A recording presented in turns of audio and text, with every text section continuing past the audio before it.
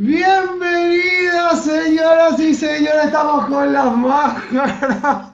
Muy buenas noches a todos y a todas los que nos están viendo en este momento tan serio que vamos a estar presentando un artista increíble, grandísimo escultor y artista conceptual. Voy a sacar la máscara para presentarlo. Señor que estuvo haciendo unas obras mundialmente reconocidas y que para nosotros es un honor tenerlo en este ciclo. El señor Lionel, señor San Giorgi. El señor Amilcar Fon, ¿cómo andás Amilcar? Y tenemos a la paloma mensajera también. No se puede respirar. Bueno, disculpen la, la intro que teníamos que chequear que todo esté bien. Así que, mm, nada, buenísimo. Sí, sí, el que Gracias nos ve por por la YouTube. presentación, Clau. Ahí está, Eh, no, por favor. este, Trabajé mucho. nos alegra que, que estés acá con nosotros, Leo. Gracias, Este, es un gracias. placer para Con este todos. invitado tan especial. Sí, sí. este, medio conocido, medio, pero Cla- Claudio Abraham. Un par de sí, un Al- Spider-Man. Algunos lo conoce, ¿no? Amilcar. Le- Lo habrán Sí. conocido por ahí, por ahí algún bichito, algún alien, alguna de esas cositas súper fáciles de hacer, digamos, ¿no? Sí, que... un pichi. Es un piche la cultura. Mirá, nos mandan saludos de acá, desde Colombia, Capo Amilcar, dice la gente. Bueno, Amilcar, Dios, ese cuadro atrás, qué buen banner de presentación tener eso atrás, te dicen. Bueno, Amilcar, bienvenido. Me alegra tener Gracias. un invitado tan serio en este ciclo. Tenemos dos horas para. Mirá, saludos de Tierra del Fuego, Daniel, qué grande. de Que lados. celulares. Vayan, vayan contándonos de dónde se están conectando. Así lo vamos mostrando a Milcar. Y, Así vamos pidiendo. y estamos este, en diferentes plataformas. Estamos en Twitch, en YouTube, estamos en Facebook. Y si quieren y tienen muy buen ancho de banda, conéctense a todas al mismo tiempo y bájenle la calidad, cosa que está, y tengamos más. empiecen a donar. más y empiecen a poner y guita, no- que, que- que tenemos que comprarle una peluca a, a-. Ahora les pasamos el Patreon. Patreon. el una peluca para Clau. Este, por ahí empieza Bueno. a esculpir más. Mirá, desde Corrientes, desde Santa Fe, tenemos a Agustín Ortega, Adis Adis. Eh, te amo más con esa peluca, dice Katia Costa. Me parece que es conocida Katia Costa Sí. por ahí, ¿no? Hermosa Ah. Hermosa de Eh, mi qué, vida. qué divino tener el apoyo de la familia. Este, Nicolás Campaña, saludos gente. Bueno, un montón de gente. Mirá, Florencia, desde Florencia, Colombia, Andrés Amaya. Mirá vos, qué grande. Oh, Che, internacional, ¿eh? sí, sí, sí, mucha gente que sigue acá a Milgar porque están todos por Amilcar, digan la verdad. O sea, nosotros no, No, nos no, conoce por, nadie. todo. Por ustedes también, por ustedes también. Mirá, Eh, pero no te queremos sacar protagonismo. No, Queremos decir que es por vos. Hay que ser si por nosotros, es así. Hay que mantener la humildad. Hay Si sale alguien de. Japón, si sale alguien de Japón, ya saben, Eso Leonel, ¿eh? Leonel. Leonel. ¿qué, no di- reconocido. qué- No. claro, ¿qué, di- qué- qué dejaste por ahí, Leonel? Tenemos, tenemos a. Tenemos, mirá, a Luciano Lamartor, se cae de risa de la máscara de Leo. Uh, mirá. Tenemos a Lu, a Lu. Tenemos Escobar. eh, Bariloche, Escobar ¿no? Escobar y Canadá. Escobar y Canadá. Sí. Al- Álvaro Giovanni de Bariloche, Osvaldo Marguer de México. Mirá, saludos amigas de Hurlingham, zona saludos. oeste, te dicen. Seki, Sekiar Tatú, desde YouTube. Abrazo de Escobar.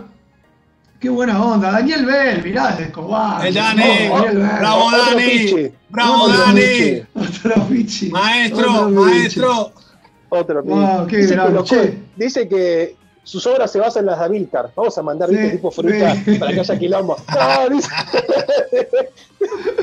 Tenemos a Alfredito Mirabel, tenemos a Eduardo de Rosario. Bueno, mirá vos, qué grande. Mucha Mirá, gente la carpeta, adelante. la carpeta que tengo de las obras de Daniel Bell es más grande que la guía telefónica. Así que Ah. Está. qué nivel, qué nivel, papá. Eh. Mirá de Villa Ballester también. Bueno, todos los que se puedan entrar por YouTube y por Twitch nos ayudan un montón a que el canal siga creciendo. Bueno, vamos a Milcar a hacerte la pregunta más importante que puede haber en un escultor, artista, lo que sea, pero bueno, estamos hablando un poquito más del lado de la escultura. Amilcar, ¿qué es para vos la escultura? En menos de 45 minutos tenés que, tenés que. Uy, al final la hizo. Bien. Al ¿Viste? final la hizo. Mira, yo te dije, Amilcar, yo te dije, te la tira, ah, te tira el muerto. No, no, sí, pasamos a otra. La mandó de frente el tipo. Trending, ¿eh? Bien trending. No, no, no, estamos charlando con Amilcar que estábamos respondiendo la idea de qué es la escultura y es una pregunta tan vasta como para, para contestar, pero siempre sirve de inspiración, ¿no? De gente así que, que ha hecho tantas cosas, que ha pasado por tantos trabajos y por tantos tipos de escultura tradicional, escultura digital, dibujo, Sí, diseño, arte conceptual. Entonces es como que está bueno como para vos, este, cómo lo, cómo lo vivís, digamos, ¿no? O sea, la, la escultura es, es como tu arte principal, es un medio de expresión, es, eh, es simplemente eso, es un trabajo, es, o sea, puede ser todo eso y mucho más, pero vos siempre das un montón de cosas muy, muy. Antes, antes que respondas, Amilcar, te voy a dar Sí. para que pienses un toquecito. Acá hay una fan tuya, una fan, que se llama Kika, que dijo Ajá. que sos como, como el platónico de la escultura de ella. Kika Campos. Mira, sí. Le Mirá. quería dar el espacio. quería No, el que espacio tiene familia, porque- Milka. No, vamos a meter no, no, entre, que bueno, pero- entre mi pregunta y la tuya, ya, la- ya Milka, Eh, no, boludo. Igual Kika está con Lo el está viendo Capi, o sea. bien. Eh, pero hay que armar quilombo, boludo, tenemos que ser seguidores. La polémica, ¿no? La polémica. Polémica bar. Polémica en el bar. Vamos a hablar de la escultura, eh, está bien. Viste, yo quiero ponerle Bueno. picante a Oye, esto. si tengo que elegir, me quedo con la pregunta de la, de la escultura. ¿eh? Viste que no era tan difícil, Milka. ¿Viste? No, no, decía, no, ¿eh? no. Gracias que Leo puso Mira, ahí el contraste. eh, a ver qué te puedo decir. Eh, la escultura. La escultura, yo vengo del ramo del dibujo. El dibujo es 2D. Tratar de representar algo con tri- tres dimensión, profundidad, ancho, eh, en 2D. Vengo del dibujo y para un dibujante tropezarse o encontrarse con la tridimensión de la escultura es magnífico, porque ya hay un montón de cosas que no tienes que resolver mentalmente, la tienes en tus manos. Entonces, Claro. de alguna manera es la materialización de todos tus problemas como dibujante. Ahí va. Es más te tangible. satisface? no ¿Te satisface? Sí, va. Una lluvia Mira de qué likes. hacemos. Quiero una ¿Qué lluvia de likes para. 45. Lluvia de likes, a ver. Para Milka, todos ahí botoneando los likes. Eh, Era la única pregunta que teníamos. Si la responde en 15 Sí, minutos, Bueno, chao, nos vemos. Chao, muchas gracias. Hasta el próximo programa. Bueno, Amilcar, este, sos súper mega reconocido por, por muchísimos de nosotros que te admiramos realmente y no lo sabes que no lo digo de, de compromiso ni de No lo dices de corazón. Sino Yo que te depósito que realmente te hizo, Claudio. Hay que decir la verdad acá. ¿Qué? Hay que, ¿Eh? que te hizo un depósito para que digas estas cosas. No, pero esa cosa no se dice, boludo. Sí, porque a mí no me llegó. No, y decía que este, sos un artista que eh, tuvo eh, un montón de trabajos que para un montón de gente son muy reconocidos, ¿no? O sea, eh, siempre no hace falta hacer trabajos reconocidos ni trabajar por empresas reconocidas para ser un mega artista, lo sabemos, ¿no? Este, pero también es cierto que tener la posibilidad de trabajar en diferentes franquicias o en diferentes este, empresas o lo que sea, te da como esa cuestión de decir, wow, el tipo diseñó un Predator, o sea, o hizo un Alien. Entonces, está bueno contar un poco cómo, cómo vos viviste una experiencia en el momento que te llega un trabajo de esos. O sea, cuando vos, este, no, no, no, o sea, ya sea ponerle en su momento ese que... palo, ¿no? Más Claro. teniendo, teniendo ese background que decís, boludo, vos ves el Predictor tuyo y tiene Sí, un montón de cosas almirqueras. Es almircar, o sea, vos lo ves y tiene rasgos, es como lo mismo que hablábamos con los otros artistas. Es como que, por más que exista el personaje, el personaje que vos creaste Sí. tiene tu impronta, boludo. El Predator tiene tu impronta, boludo. Porque vos ves el resto de los Predator que hay en el mercado, están bien, pero no tienen esa cosa que decís, uh, el tipo está del tomate. El, el ejecutor de la corte de la muerte, ¿viste? Vos lo ves y tiene tu impronta, boludo. ¿Por qué? Yo me acuerdo cuando estuvimos en ese curso que no quiero, mejor me pongo mal si lo digo. y, mostraste el proceso y que vos ponías de que yo fui por este lado, por este lado, por este lado y tenía un montón de características. Son todas características tuyas. O sea, Total. de tus procesos, ¿no? De, de cómo encarás una obra, de la manualidad que le pones, porque todo parece digital, pero vos sos artista también tradicional, ¿viste? Y laburás los elementos de una, una forma muy tuya. Es como sí, acá de hecho estoy mostrando, justo estoy mostrando cómo Amilcar fue haciendo en la página ArtStation. Búsquenlo en ArtStation, que está Amilcar Andagafong, y van a encontrar la, brutalidad de trabajo. Miren las texturas que hay en, este, en este Predate. todo esto está hecho con Super Sculpey, ¿no, Amilcar? La mayoría de las cosas están hechas con Super Sculpey y eh, los dreadlocks y la base fueron hechos con epoxi, con masilla epoxi. Por, Tremendo, tremendo, tremendo. Ah, le vamos a avisar a los, este, a los que nos están viendo que el Zoom, eh, para voy a pasar a la otra pantalla y tengo que acá eh, maximizar, uy, para. Qué tremendo eh, el Zoom nos deja 40 minutos, así que si se llega a cortar me van a seguir escuchando a mí y le vuelvo a rearmar la, la charla. Y bueno, lo que decía Milcar es cómo, cómo se siente hacer una... O sea, participar de un icono eh, de la cultura pop, digamos, o de la cultura eh, sci-fi, mejor dicho, este, como Predator o, digamos, este, Alien. Bueno, utilizamos, a ver, el, como ustedes bien dicen, se siente fantástico poder tener la oportunidad de esculpir un personaje icónico. Sí. Eh, eso, eso, ya el hecho de poderlo reproducir con tus manos no importa para cuál sea el propósito, si simplemente lo haces por placer ya es algo eh, increíblemente placentero, eh, satisfactorio, es la oportunidad de aprender muchísimo. Eh, en dependencia de cuál sea el modelo, por ejemplo, no es lo mismo esculpir un depredador hecho por el escultor Narín, no es lo mismo hecho un, un, depredador que tomes como modelo de las películas. Eh, uno original hecho por algún artista, que una versión original que a ti te guste, o uno creado por ti. El hecho de esculpir algo, vamos utilizando el, depredador como, eh, como objetivo, digamos, como, como centro, es fantástico. Ahora bien, una cosa es hacer un depredador y otra cosa es hacer el depredador. ¿En qué sentido? Vamos a, vamos a aclarar para que la gente no se confunda. Yo en el, en el World Predator que hice eh, hace algunos años, el diseño no es mío. Yo pude diseñar la base, diseñar los elementos de la base, pero el World Predator ya estaba concebido, ya fue concebido para la tercera o la cuarta franquicia, la cuarta parte de la franquicia eh, de Depredador y la segunda de Alien vs Depredador. ¿Qué sucede? La pregunta es, ¿cómo yo puedo traer mi impronta hacia algo que ya está hecho, que ya está diseñado, que ya fue diseñado y rediseñado por cuarta vez ya. En ese, en ese caso, el Wolf Predator. Y que se eh, sienta nuevo. y, que se sienta, y que se sienta, pero al mismo tiempo siendo fiel al personaje que ya fue creado. Sí, sí, sí, tal cual. Entonces, el camino a responder esa pregunta tan esencial es lo que te lleva a ti, y es el camino que yo amo hacer y amo recorrer, que es tratar de dar una visión muy fiel al personaje, pero al mismo tiempo fiel a mí mismo, a lo que a mí me gusta, a lo que a mí, como, a mí, como yo lo envisiono en mi, en mi cabeza, como lo veo en mi cabeza. Eh, así que eso, esencialmente es, fantástico, digamos. Es como, como tener la posibilidad de decir, este es mío, este es mío, este, este tiene mi sangre, tiene mi... mi... o, la última es, eh, como es un, un icono que uno, o sea, que a vos te gusta, tipo el Predator en este caso, es como vos también lo visualizás. O sea, tal vez hay detalles que vos decís, yo iría por este lado, ¿viste?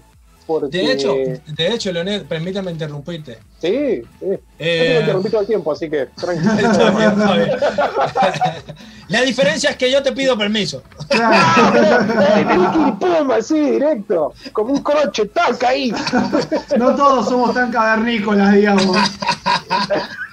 No, el, el, tema es el siguiente, y te voy a dar, e, esto es en realidad un paréntesis en lo que está diciendo Leonel.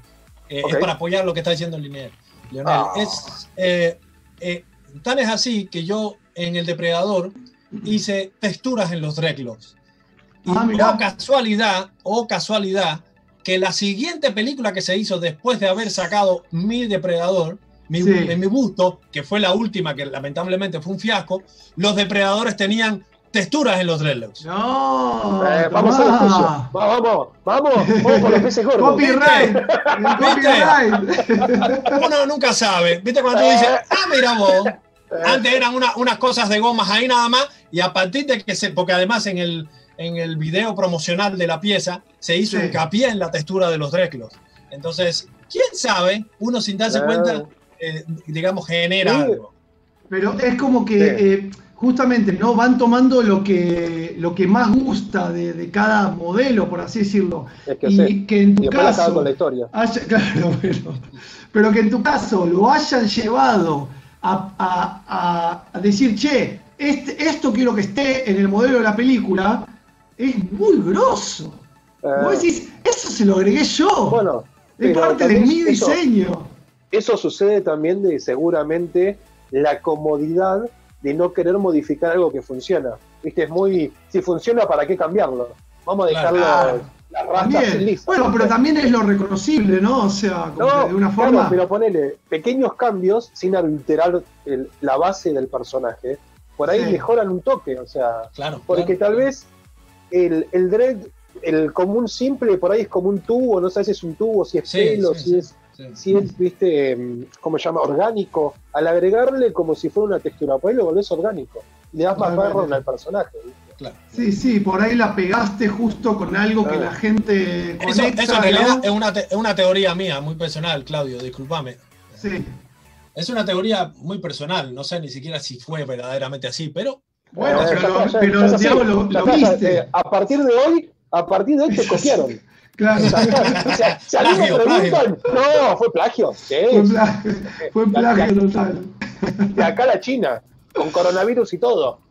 Sí. Qué. Che, bueno, vamos a estar hasta las 22, hasta las 22 que recién son las 22, digo. Vamos a estar hasta Sí, las dejá de 24, drogarte, dos horitas. Así que vayan dejando sus preguntas. Vi que ya hay varias preguntas, así que vamos a ir este, buscándolas ahí.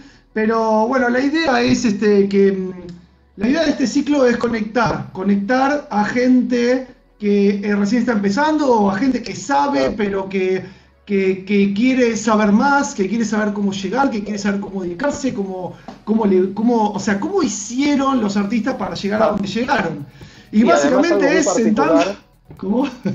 Algo muy particular es que Amilcar hace cosas que son hermosamente horribles, por decirlo Claro. de alguna forma. Encuentra la belleza, sí, la, la encuentra la belleza donde usualmente te dicen que no la hay, claro. ¿viste? Pero él la encuentra, encuentra la delicadeza como el busto de la, de la corte de la muerte que tenés ahí al costado, que es todo hueso. Uh, y- hay que mostrarlo, hueso- sí. el esqueleto es la muerte, y vos la haces hermosa la muerte, por decir de alguna forma, ¿no? O sea, le das una, un punto de visión que es muy, que esto también lo hablábamos con Franco, es muy del toro, que agarra y te muestra las cosas hermosas de lo que te dicen es feo los monstruos, nos aterrorizan, ¿no? Vos le encontrás el Gracias. lado bello. gracias. y tal vez hay gracias, pibes que están empezando esto y que no les gusta los superhéroes o no les gusta lo convencional y tienen miedo de que tal vez no hay lugar en el, vendría a ser en el mundo de la escultura, para las cosas que a ellos les gustan como el terror, por decir de alguna forma, o el horror. Y está re bueno eso, porque vos sos un claro ejemplo de que hiciste superhéroes, pero también tenés una impronta de los bichos que tenés atrás, ¿viste? Eso es buenísimo también para el pibe que está empezando.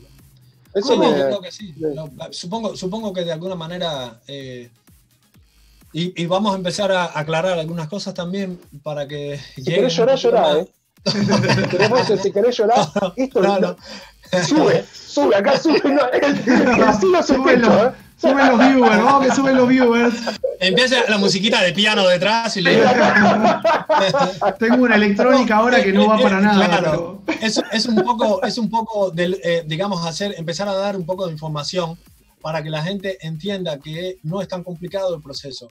Una cosa es lo que te, estoy seguro que deben haber muchísimos alumnos y alumnas con muy buenas ideas y que por alguna razón no las pueden materializar. Entonces, Claro. la idea está en que una pieza de arte, ya sea de pintura, ya sea porque la pintura también tiene que ver con eso, ya sea un cosplay, ya sea lo que quiera que se esté haciendo desde el punto de vista artístico, tiene que tener una historia, tiene que tener un background. Bien. Y si no lo tiene, tu tarea como artista es crearlo. Es creerlo. Si no lo Claro. tiene, es crearlo. Y si tú no tienes ese background en la mente, no vas a poder contar nada, ni con tu dibujo, ni con tu cosplay, ni con tu pintura, ni con nada que hagas. Está bueno eso, ver como, como la escultura como un medio narrativo, no solo figurativo. Efectivamente, efectivamente. ¿Cómo llegaste a tu background, Amilcar? ¿Cómo? ¿Cómo llegaste a tu background? ¿Cómo se formó? Eh, te maté, ¿eh? Ah, ¿eh? No soy bueno, dame tiempo. Y preguntas coño, ¿eh? coño, dame tiempo, dame tiempo. Pero pará, yo te ayudo. Vos pudiste conectar estudios que no tienen nada que ver con la escultura. Eh, no nada que ver, lo, lo, tienen, pero de una tangente. Uh, para que se cortó. Banca, eh, espérenme que se cortó la, el zoom. ya armo. Eh, ya pronto vamos a tener todo esto pago como corresponde. Ahora me ven en gigante a mí. Mánquenme un segundo. Eh, aguántenme que. Eh, esto es televisión, ¿verdad? Es muy difícil, chicos, ser operador de TV. Muy difícil. Ahí lo. ¿Cómo carajo tengo que hacer invite? Copy URL. Aguántenme un cachito. Que lo parió. Eh, esto es muy difícil. Es muy difícil hacer solo. Ya van a ver a Milcar, le voy a pasar el link a Milcar por acá, lo están viendo todos. Bueno, por lo menos se entretienen un rato. Y voy a buscar a Leo. A Milcar, ahí te lo pasé, ahí se va a conectar. Y, ay, ¿dónde está Leo? Esto, bueno, ya lo, para la próxima lo vamos a corregir. Eh, amigos, en la Georgia, vamos a mandarle enviar mensaje. no debería pasar, esto no estaba pasando, pero Zoom volvió a poner una restricción en, en las llamadas a que duren solamente 40 minutos. Ahí lo tenemos de nuevo. Este, por lo menos hablaron de tu Goku. Ahí está, te perdimos, Amilcar. Eh, estamos de vuelta, estamos de vuelta. Ahí está, ahí está. Pasa que esto, esto de, de, de, de la limitación nueva de Zoom que, que, tiene, bueno, vamos a, a futuro lo vamos a corregir. Este, con el pack premium de, de Coso, de Zoom.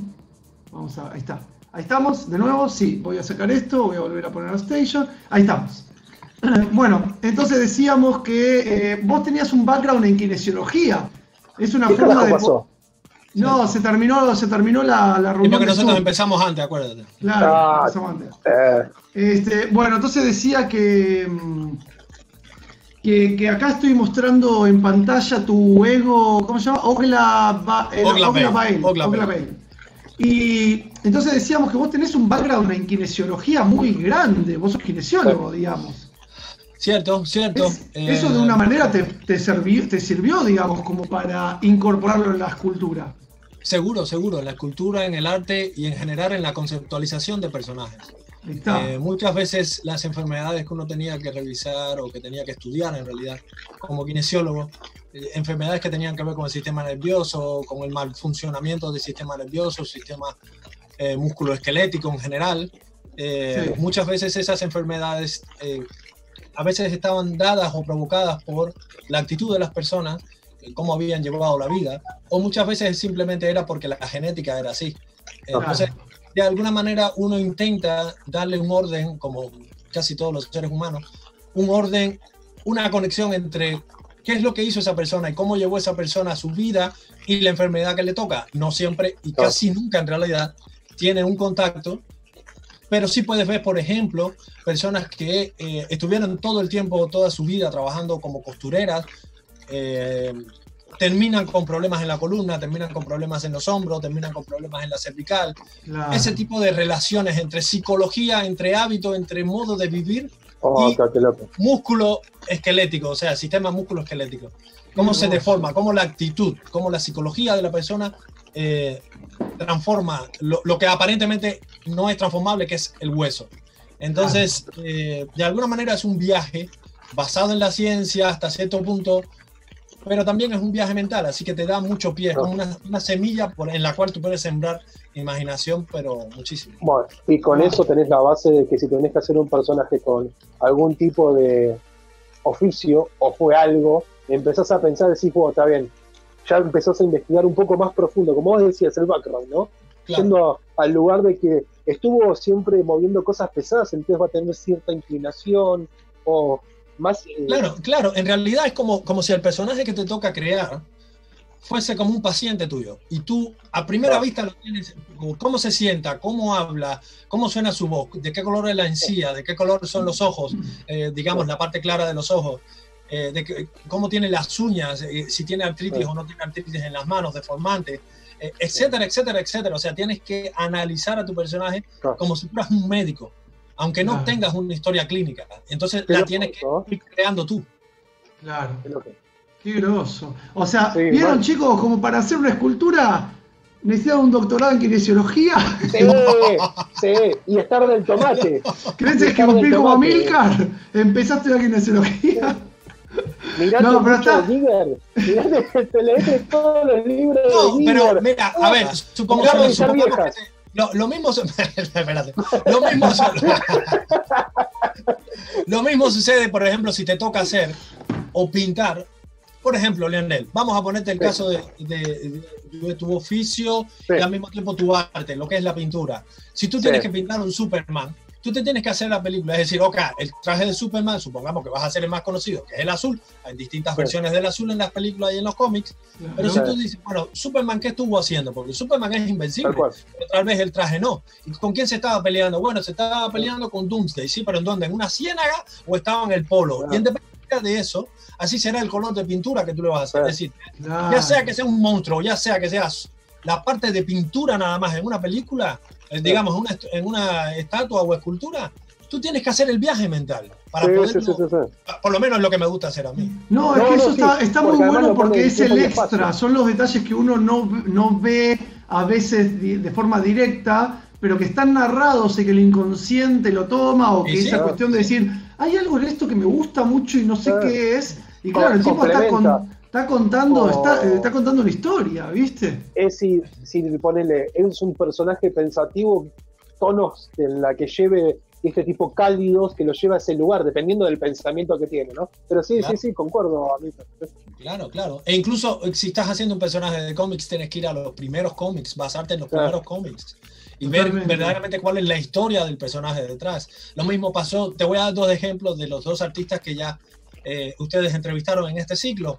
Eh, las botas que esculpió Daniel Bell en su Daredevil tenían que ver con eso y solamente los que conocían el background de Daredevil sabían esto. Pero es Son la manera que Daniel Bell... Claro, son, es como la, la, la, la película que se tuvo que hacer Daniel Claro. Bell, tiene que ir a, a la historia del personaje. Lo mismo pasa con Clau- eh, con, eh, eh, con Franco, Franquito Carlésimo, que él Sí. con historia de por qué de visionar el, digamos, al ser humano como uno más dentro de la cadena alimenticia de un monstruo. O sea, Total, eh, al mismo tiempo, o sea, es, es la historia que tiene que hacerse el artista. Así que fueron dos, dos ejemplos más de Sí, personas. pero no, no son tan buenos como vos. No los nombres. No, Bueno, no, acá- en el- eh, acá estamos hablando de. Claro, Amilcar. No me vengan Ah, con. Amílcar. Mirá, acá Sí. pone Luis Dona Donaire, dice, sí, George Lucas era antropólogo y por eso eso le benefició hacer esos diseños, digamos, ¿no? Eh, todo background que uno pueda conectar y pueda sumar, aunque parezca que es inconectable, este, nada, espectacular. Pero no hace porque- falta ir a la universidad ni tener un título, es simplemente No, buscar la información, ser curioso, siempre Sí. ser curioso acerca de la escuela, naturaleza. Deja la escuela porque la escuela te lava la cabeza y te vuelve así. No, no. Sí. Mucho, mucho chupi, ver películas y por ahí salen como Milcar. Así, Milcar jugaba. Serio, serio. No, pero, pero son cosas que a veces uno dice, si tú miras para atrás, yo puedo decir que a mí me sirvió, eh, digamos, el estudio de eh, licenciado en cultura física o kinesiología que, que tuve, pero no significa que eh, hoy, hoy mismo los pibes, muchos pibes dicen, "Bueno, ¿y yo para qué voy a estudiar esto? ¿Y yo pa- para qué voy a estudiar lo otro? Lo mismo Claro. pude haber dicho yo, ¿y yo para qué quiero estudiar kinesiología? ¿Para qué quiero estudiar licenciatura? Claro. Uno no sabe el día de mañana lo que tú estás aprendiendo hoy para qué te va a servir. Entonces, tratemos de mantener como artista, como persona, como seres humanos, la, la mente un poquito abierta a todo conocimiento que llega y tal vez eso nos puede ayudar. En el futuro uno no sabe a qué, pero el Uno nunca conocimiento sabe nada. ni ocupa, ni ocupa lugar, así que...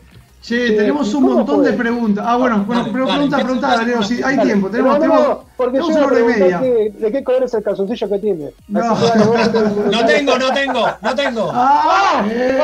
ah. Vieron, gente, si querés esculpir como a Milka, no uses ropa Eh, interior. sí. Eh, lo- huevos contra la silla. Es la fricción que te genera. No hacía falta Eh, aclararlo, sí. no hacía El falta. olor que sube. La- eh, es todo. ah, El vaho. es Es, es, Amílcar. es un vaho, es un vaho. es, el- Amílcar entrando y dice: No, no antes, no antes. Amílcar te está creando. es una esencia afrodisíaca, claro. Che, tenemos acá a Lucía que dice: Hola, Milcar. Pregunta: ¿tus esculturas las resolvés exclusivamente desde la tridimensión o en algún momento del proceso usás el dibujo para ayudarte a aclarar partes de anatomía o de la idea general del personaje? Bueno, Lucía, muchas gracias por, por preguntar. Eh, ambas cosas, Lucía. Como anteriormente estuve trabajando como artista conceptual, eh, pues era justamente eso, resolverlo en la hoja de papel. Muchas veces me salen algunas ideas y las, planto, las planteo de manera muy sencilla en el papel y después Sí. entonces voy a la, a la tridimensión, ya sea digital o tradicional.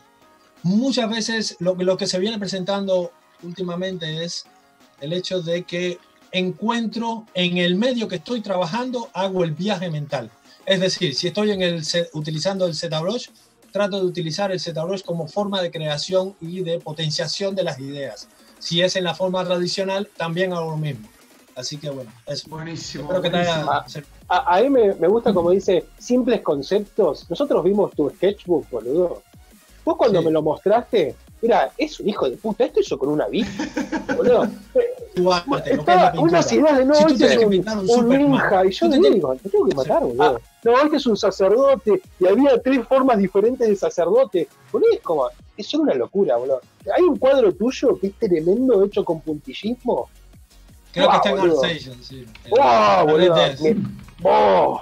Es que, es que, es que vos te- Me la mezclas un montón de fumo, técnicas boludo. que están buenísimas. O sea, eh, lo haces como más consciente. Si yo sé esto y ahora voy a aplicar esto, digamos, ¿no? O sea. Bueno, pero lo más importante, y, quiero, y creo que a muchos que están presentes ahora en la charla escuchándola también se van a sentir identificados. Claro. No es necesario ser un especialista en nada para poder lograr una obra de arte eh, que tenga validez y que con la cual tú te sientas, fíjate, y esto es importante, con la cual tú te sientas eh, alegre gusto, y conforme, sí, a gusto. Perdón. Porque en, en el caso de esa, esa, mm, ese dibujo que menciona Leonel, yo nunca en mi vida había practicado el puntillismo. Ese fue el primero y de hecho el Tírate único. un pedo. Que Tírate hice. un pedo. No, Ay, pero- se- la, la primera vez yo soy Amilcar. Ay, no, me pongo, me caliento, no me hagas calentar, Amilcar. ¿eh? No. Lo que quiero decir con esto es que, aunque no lo hayas hecho nunca, lleva una práctica. Yo hice algunas No. prácticas, no significa que fue la- agarré la, el, el, digamos, el, el, el- ¿cómo que se puede decir? La- el lápiz, La digamos, lapicera. para hacer, la lapicera para hacer puntillismo, eh, la lapicera de tinta, bueno, como quiera que se le, la estilográfica, y me puse Sí. a hacerlo directamente y ya está. Hubo un, un periodo de ensayo No. y error, ensayo y error. Lo que quiero decir es que porque no lo hayas hecho nunca, no significa que no puedas llegar a hacerlo, e incluso No. de manera satisfactoria para ti mismo. ¿eh? No. Entonces, que quede, digamos, enmarcado esa Sí. obra en eso. A- además, tal vez encontrás un punto medio, porque tal vez no te sale puntillismo, pero te sale algo nuevo para vos, que decís, uh, re Claro "Ah, que sí, es un periodo de, descubrimiento, porque eso es lo que estábamos hablando en, en uno de los comentarios que pusimos promocionando la charla. Es, de alguna manera, es, la, es la- la actitud que tienes que tener en la vida. Claro. En el camino por descubrir, en el camino que, que vas haciendo en la vida, aunque no te guste exactamente lo que estás haciendo, puedes llegar a, con- a- a descubrir otra cosa que te gusta. Por ejemplo, cuando yo estudié licenciatura en Cultura Física y Deporte en Cuba, no era kinesiología, estaba muy ligado a la kinesiología. Claro. A mí en realidad no me gustaba mucho, pero como todos mis amigos fueron para allá, pues yo fui para allá también. Porque en esa Era edad, entre los 15, claro, entre los 15 y los 20, tú haces lo que tus amigos quieren, qué sé yo, Claro. para donde vayan ellos, tú vas. Yo no estaba muy convencido, sí sabía que quería graduarme en algo, en una universidad, tener el título y listo. Fui para allá como, como todos los amigos míos. Pero Claro. ya dentro de la universidad encontré la rama que a mí me gustaba, que era la kinesiología, y a partir de ahí, pues fui por ir para allá. Es decir, si tú no te atreves a caminar caminos y senderos desconocidos hasta entonces, no Claro. te vas a conocer y no vas a conocer lo que te gusta. Tienes que abrirte eso. Y además, claro, o sea, en ese proceso de, de ir incorporando técnicas y ir descubriendo, te vas a descubrir un montón de cosas tuyas, digamos, ¿no? Sí. Acá dice sí, Ezequiel eh. Politano, las famosas serendipias de la vida, sí, totalmente. La- las partes se descubren algunos. Che, te- tenemos Otros- un montonazo de preguntas que Dale, dale, revisando. Eh. Mira, A- tenemos a un los que pagan. A los que pagan. Sí, A los premium. A los que contribuyen, los que contribuyen en Patreon. A Los ver, que contribuyen en Patreon. al que se suscribió en Twitch, le vamos a responder dos a la clara preguntas. no. Bueno, tenemos un pibe acá que, que recién está empezando. Se llama Danielcito Bell. Dice. Acá hay chongo, eh, acá hay tongo. Justo a Daniel le dijiste, amigo, acá hay tongo. ¿eh? No, ¿Eh? pero una pregunta súper interesante dice, vos que venís de la escultura tradicional, ¿cuál es la mayor ventaja de trabajar en 3D? ¿Y cuál es la mayor ventaja del tradicional? Control Z, papá. Control Z, papá. Esa es la del digital, bien. ¿Y la del tradicional? Eh, sentir con las Tocar manos. Sentir con las manos. Sentir con las manos. A ver, eh, esto vamos, vamos. Bueno, primero que nada, Dani, gracias por estar presente.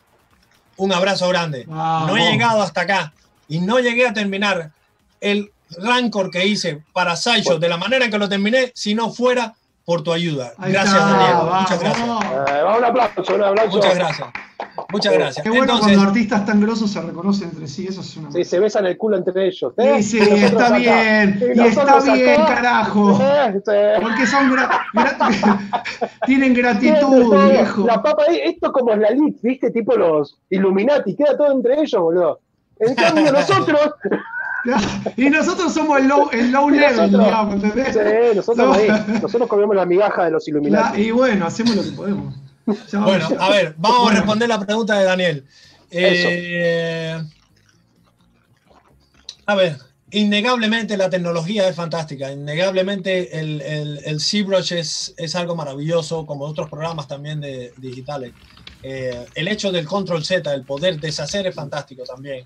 El hecho de poder trabajar en la simetría también es fantástico. El hecho de que lo que tú concibas y construyas en ZBrush lo puedas imprimir de manera tridimensional en todas las formas y detalles y tamaños que quieras, también es fantástico, es algo maravilloso. Si no lo haces en ZBrush, o sea, lo, lo que, lo que eh, estamos hablando de que si tú haces una escultura en ZBrush, eso puede servir para impresión, eso puede servir para animación, eso puede servir para películas, eso puede servir, o sea, la diversificación que ha traído la tecnología eh, en, en, en cuanto a la escultura es maravillosa y la utilización del arte. Ahora, desde el punto de vista de la, una cosa que verdaderamente yo considero que es un, un, faltante que está trayendo la tecnología como la escultura en ZBrush, hay una parte sensorial que está ausente, que es la parte de las manos, Eh, es la parte de tocar la tridimensión. Claro, Recordemos que hay artistas que son escultores y que son ciegos. Y claro. eso es fantástico. Así Eso- hacen las cosas también, ¿no? No. Sos el peor. Sos el peor. Hay muchos que tienen ojos y Claro. Leonel, Leonel, se trata de sumar, no de restar. Leonel, Primer strike, Leonel. Lionel. Primer strike. eh. mantente, mantente, a dos, mantente a dos metros. Al tercero fuera. Mantente a dos metros. Barbijo contigo. No, no, barbijo contigo. Perdón, perdón. Barbijo contigo. Dice plancha. Perdón, perdón. No, no vuelve a pasar.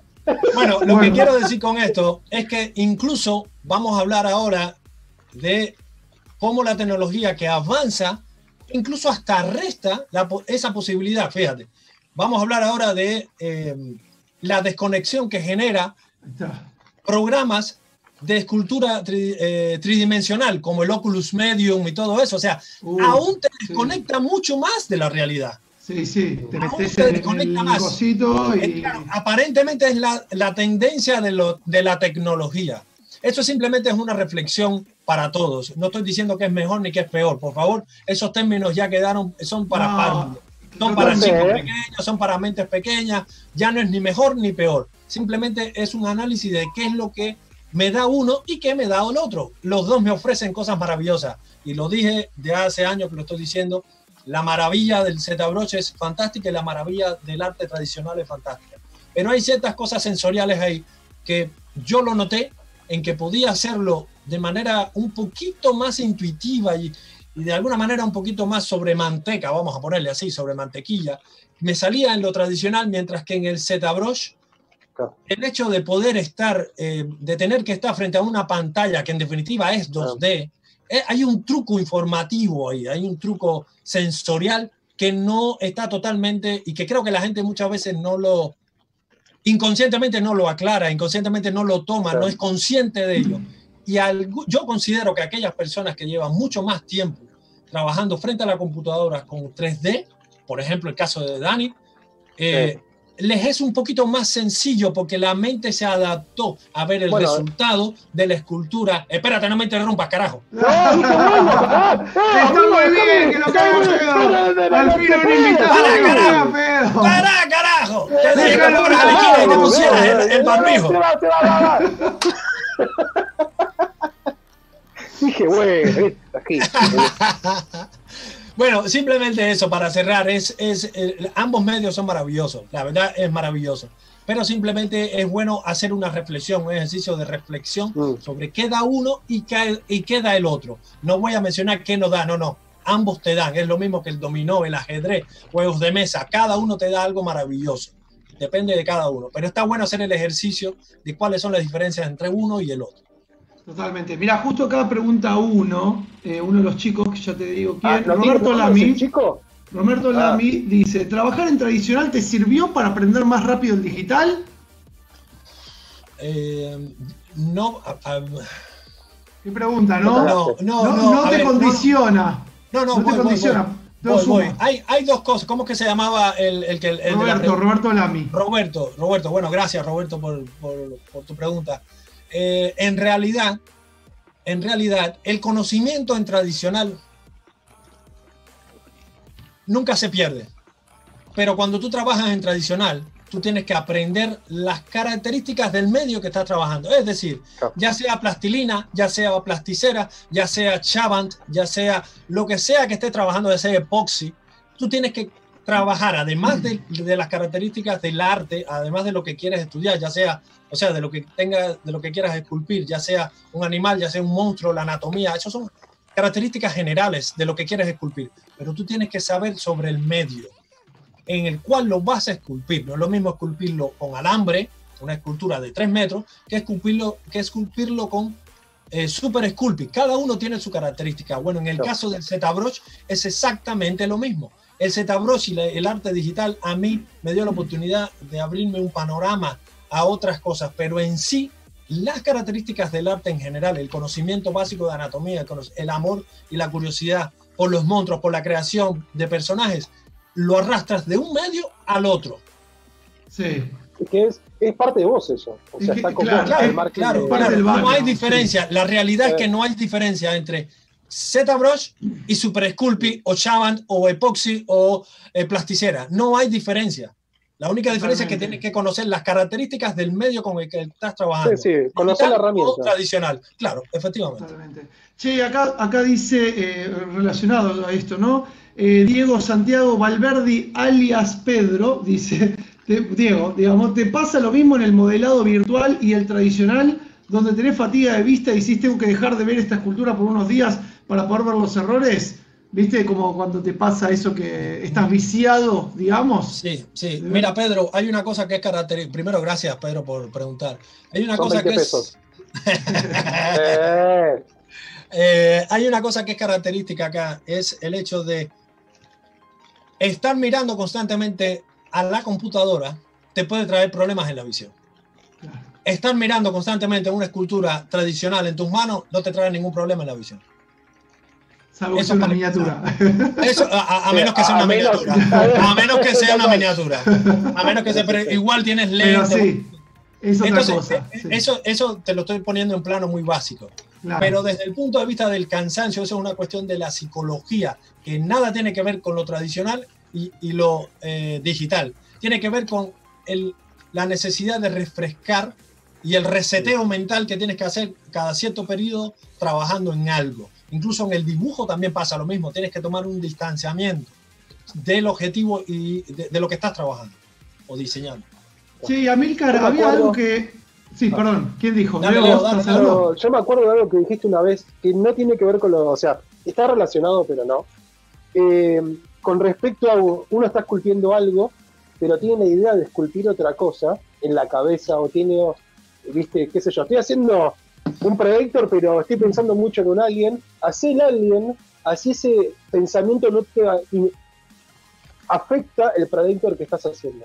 O sea, Mm. yo me acuerdo que vos tiraste algo como diciendo que la idea es como un virus, por decirlo de alguna forma, de que si vos estás haciendo algo y tenés la influencia mental de que te gustaría estar haciendo otra cosa, haz esa cosa y después seguir laburando. Claro, efectivamente, efectivamente. Eso es re loco, pero es, es cierto, cuando vos estás diciendo, "Uy, tengo ganas de hacer, qué sé yo, un Goku, pero estás haciendo a King Kong, ¿viste? No sé.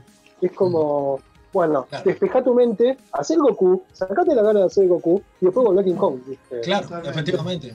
Está re loco eso. Sí, sí, sí. Che, Son esas cosas que uno, que quedan, ¿viste? Que, que habías dicho y quedan. Me alegro, me alegro que te haya quedado. Sí, te iba a hacer sí, una, sí. una pregunta mía, pero vamos con una. Pero las tuyas no acá. interesan, amigo. No, La vamos con la gente, con la gente, vamos con la, La gente. gente, Vamos con la gente. pelón, Mirá, qué tenemos grande acá. sos. Bueno, Hugo, Hugo Moncayo decía que, claro, hay artistas que pasan sus obras tradicionales con escáneres 3D para poder tener las ventajas de los dos medios, lo cual sí está bueno. Obviamente Sí, hay que tener ocurre escáner eso. 3D o si no con fotogrametría, con un programa como. Hay, hay maneras, hay maneras. Sí, fotogrametría. Eh, Alexis Gómez dice, buenas, quería saber cómo es el tema del tallado de bisturí sobre la superficie dura de Suprabón y plastilina con la que trabaja, ya que es distinto al modelado con la plasticera blanda, digamos. Es cierto. ¿Cómo- Eh, cómo- es un, poco, es un poco más sucio porque haces mucho polvo. Tienes que usar barbijo, tienes que usar, tienes que protegerte para que lo que estás tallando no te, no te el llegue a los polvo es tóxico. Claro. es tóxico. Y desde el punto de vista artístico, el, digamos, hay una. mm, ¿Cómo puedo decir? Em, yo creo que es hasta cierto punto, hasta cierto punto lo mismo, pero es un poquito menos flexible, no, porque la plasticera, en el caso de la plasticera, tú le das un poquito de calor nada más o la pones al sol y ya no tienes lo que tenías. Claro. Mientras que en el caso del, del Super Sculpey, no, del, ¿cómo se llama? De la masilla epoxi, Suprabón, es muy dura, claro, es muy dura. Claro. Pero Entonces, te eh, permite tienes hacer que, huesos que son de la puta madre. O te sea, permite hacer huesos, te permite hacer. Mira, yo conozco a un artista eh, argentino también, eh, Omar, que forma parte del grupo de los Warlord, un chico Sí, que pinta Omar Olmedo, gran Omar amigo. Olmedo, Sí, que Sí, es gran increíble, amigo. lo- la- la- es increíble la calidad que logra con, eh, digamos, con, con el epoxi, pero haciendo, por ejemplo, eh, cuerpos ya sean femeninos o masculinos. O sea, es increíble la gracia que logra. O sea, que no solamente el hueso, sino lo que te propongas hacer. Lo que quiero decir con esto es que eh, no cambia demasiado, cambia la metodología, pero no cambia demasiado. Hay facilidades y pros y contras, digamos. Totalmente. Como todo en la vida. Bueno, si Como nos quedaron preguntas sin contestar, vayan, vayan reenviando sus preguntas si las preguntaron. Yo estoy viendo, pero hay mucha, mucha gente, Amílcar que te manda saludos, mucha gente. Acá eh, hay un Flavio, Fabio Vieira. Fabio. Vieira dice, Amílcar te amo, dice. Querido Fabio, querido Fabio, mi amigo de Brasil. Ah, ahí está, ese, ese. Te amo, te quiero, dice. y Bueno, súper parecido. Entregar Eh, rosquete. Eh, no, nos amamos, nos decir, amamos. No, no, no se puede decir eso en vivo. Mira, acá Maximiliano, Maximiliano Melo dice, genio Amilcar, eh, ¿cuáles son tus pasos para transformar un concepto 2D a una escultura? O sea, ¿cuál- sería como cuál es tu proceso creativo, tu pipeline, Eh. tu workflow, digamos. Eh, O cómo pasar el papel a ¿Por 3D dónde empezás, Amilcar? ¿Haces el Bueno, esqueletito de sí, por la alambre? droga.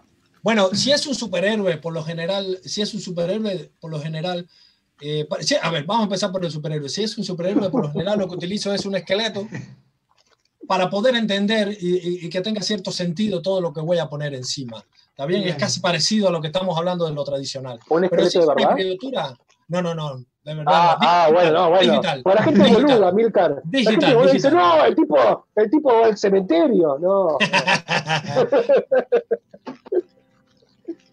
Bien, y hoy perdimos el audio de Amilcar. Amilcar, no te escucho. Hola, que mirá que Eh. eh, calatita. Hola, hola. Ya, ya me estaba ¿De dónde preocupando. lo sacaste? ¿De dónde sacaste esto? Ahí estuviste robando tumba. Mi tío, mi tío, este es mi tío.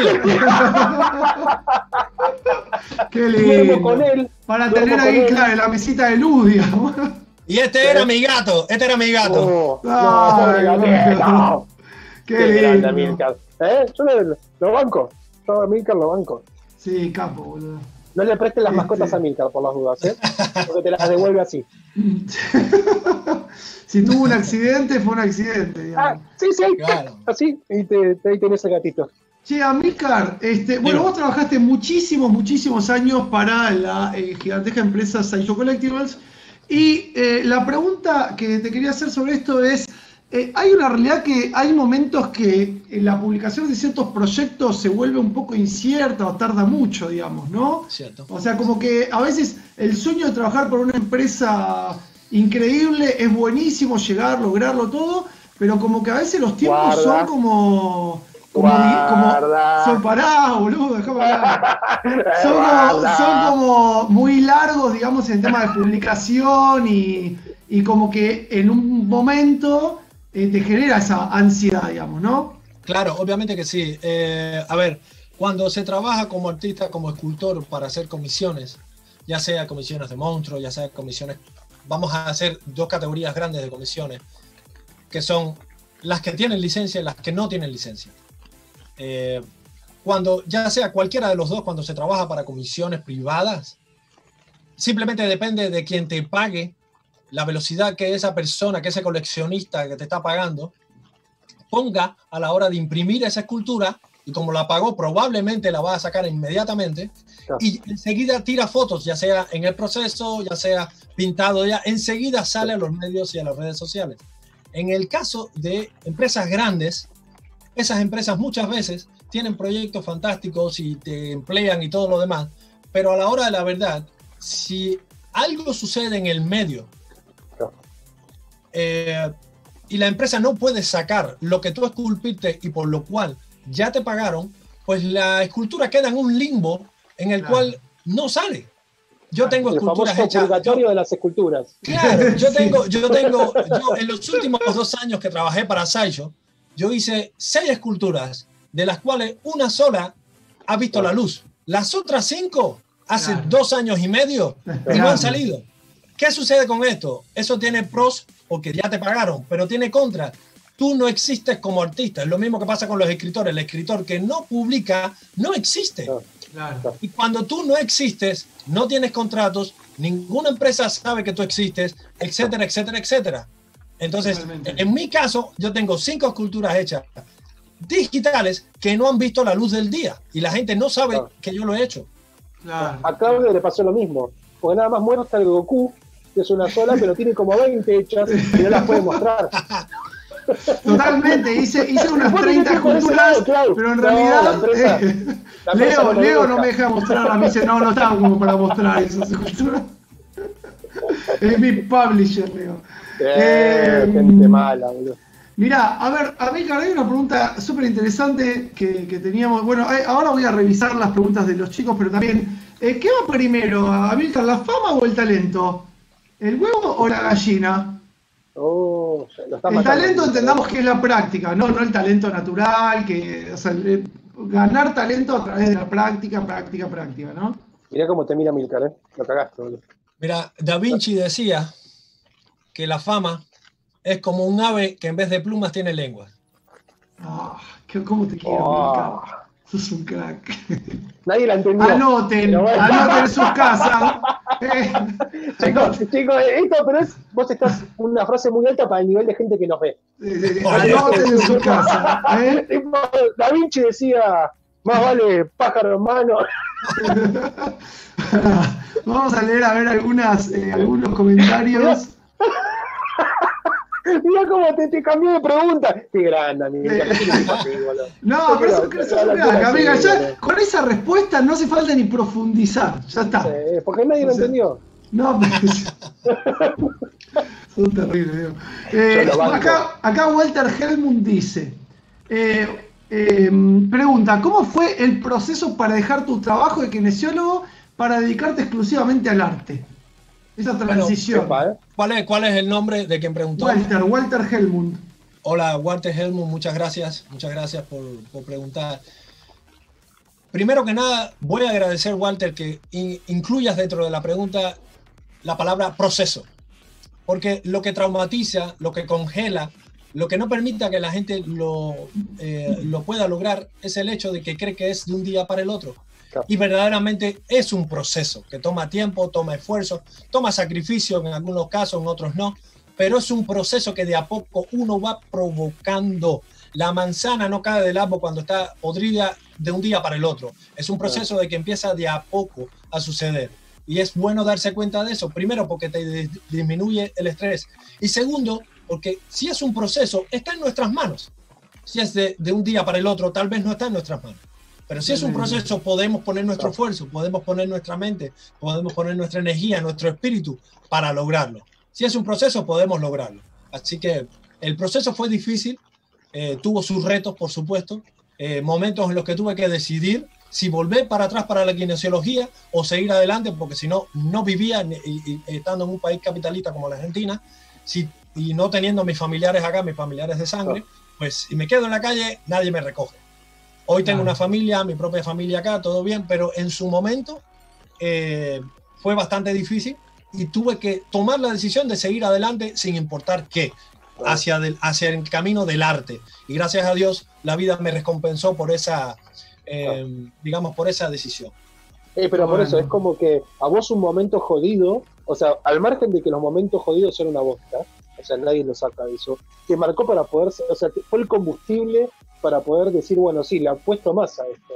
Pero es que justamente el background, los momentos jodidos son el background para tus próximos personajes, para Oglavel, para Exial, para cualquier cosa. Si tú no construyes e, ese background con experiencias propias, pues entonces no va a servir. O sea, no tienes de dónde sustraer. Si tú te pasas todo el día mirando nada más el celular o mirando series de televisión o distrayéndote con cualquier cosa, pero no viviendo, pues entonces eso no, no, no, no vas a tener ese sustrato del cual recoger experiencias propias y ponerlas sobre un personaje ficticio.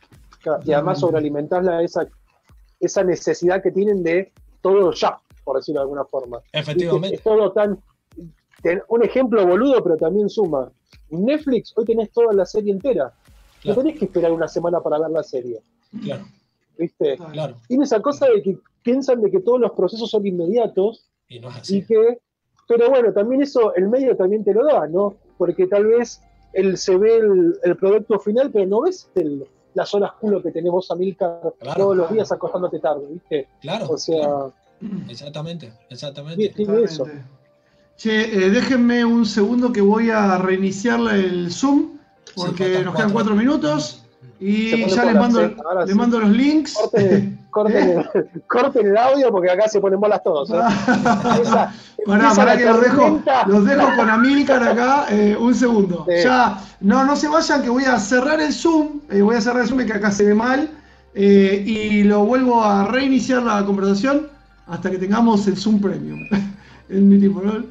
Este, bueno, yo sigo acá, me van a seguir escuchando. Ya lo estoy creando la, la nueva Estoy creando la, nueva sala. Esto, bueno, es un tema técnico que ya vamos a mejorar. Obviamente que hay que pagar la suscripción y este, esto es nuevo de que las, o al menos en, las primeras no nos decía esto. Así que voy, denme un segundo. ¿Cómo lo, cómo lo van viendo? Cuéntenme, este, ¿por qué no van mandando este, todas las preguntas que quieran? Yo voy leyendo todo lo que puedo. Es muy difícil ser operador y algunas se me pasan, digamos. Pero, pero bueno, voy haciendo todo lo que se puede, digamos. Eh, acá van a ver todos los mensajes que tengo sin contestar. Perdónenme, estoy muy atrasado en responder los mensajes, pero trato de responder todo. Esto lo van a ver acá y van a ver que le mando a Milcar el nuevo link. Y ahí estamos de nuevo. Vamos a volver a la station. Y ahora cuando se conecten ya este, retomamos. A ver segundo que ahí llegó a Milcar, admit. Y ahora, bueno, estas son, son desprolijidades que nos pueden pasar, ¿no? O sea, hay ese televisión verdad. De vuelta. Ahí está Milcar. Bueno, esperemos ya la próxima no, no tener este problema, Milcar, perdón, pero, pero bueno, esto es nuevo de, de, Zoom que ya no permite conexiones. Volvió el palomo. Vamos, el palomo. ¿Ya nos escuchás o no? Sí, ya lo escucho. Ahí está, ahí está, ahí está. Eh, pará, bueno, entonces estamos hablando de. Más preguntas. Eh, más preguntas, Sar. Vamos a buscar una pregunta. Una pregunta para Milcar, de Raúl Díaz.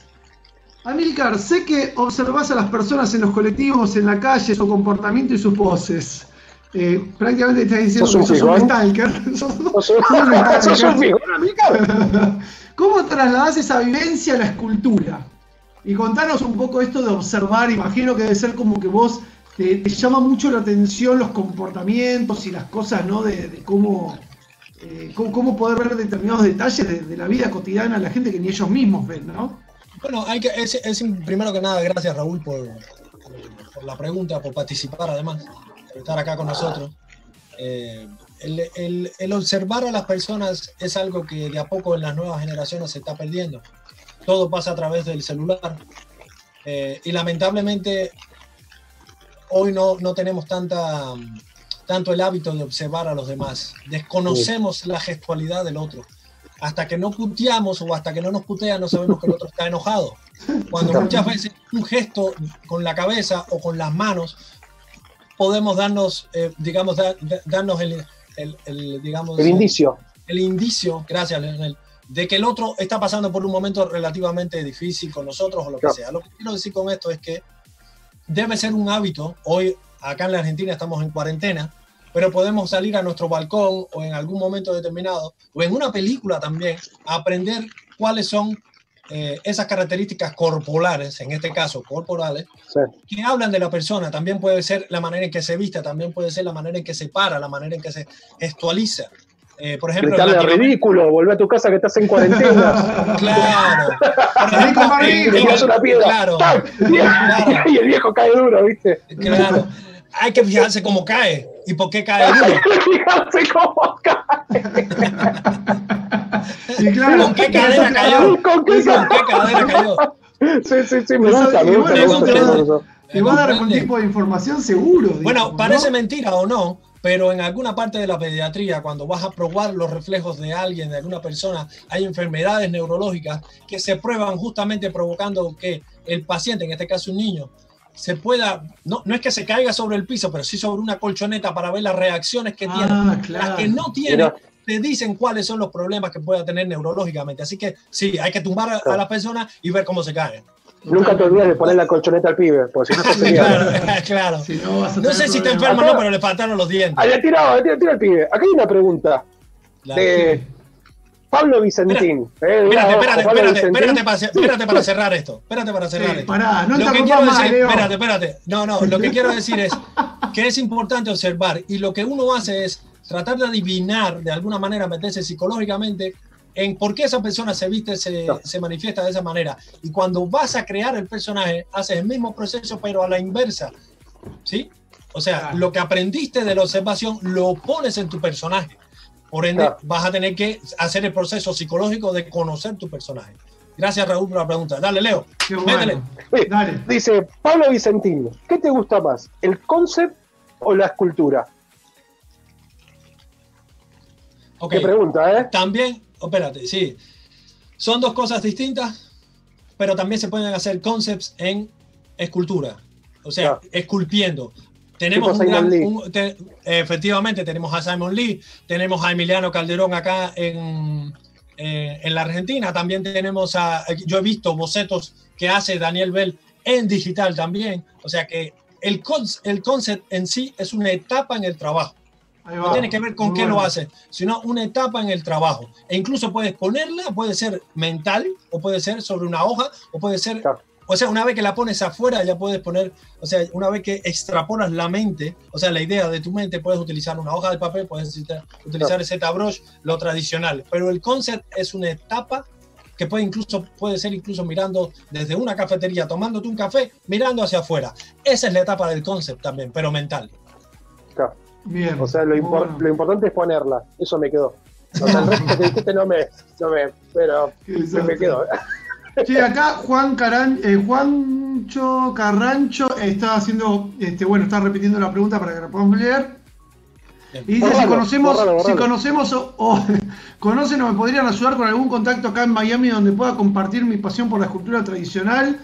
He buscado y no puedo conocer a nadie aquí. Yo lo que te sugiero, Juancho, y seguramente los chicos lo mismo, entrar a los foros de escultura donde están todos, escul- escultura tradicional, escultura tradicional digital, Cibras en español, eh, busca todos esos grupos que los vas a ver eh, donde están compartidos en, en esta publicación y ahí vas a encontrarte con un montón de gente de todo el mundo, no hace falta estar Sí, físicamente. a- aparte, sí o sí, sí o sí, pero además, sí o sí, en Miami tiene que haber artistas. O sea, Total. he escuchado, yo ahora mismo no me acuerdo del tema, pero, o sea, del nombre, pero he escuchado personas que viven en Florida, tal vez no exactamente en Miami, pero en Florida, y que son artistas de renombre que son eh, increíbles. Así que- Totalmente. Así que bueno, ahí, ahí tenés. A ver, tenemos. eh, 75 personas está viendo, ¿eh? un montón de gente. ¿no? Oh, wow, ¿Eh? wow. Gracias a todos. Muchas gracias a todos, de donde sean, Eh. de la Argentina, internacional. Muchas gracias a todos por estar mirando esto. La verdad que es sorpresivo para mí.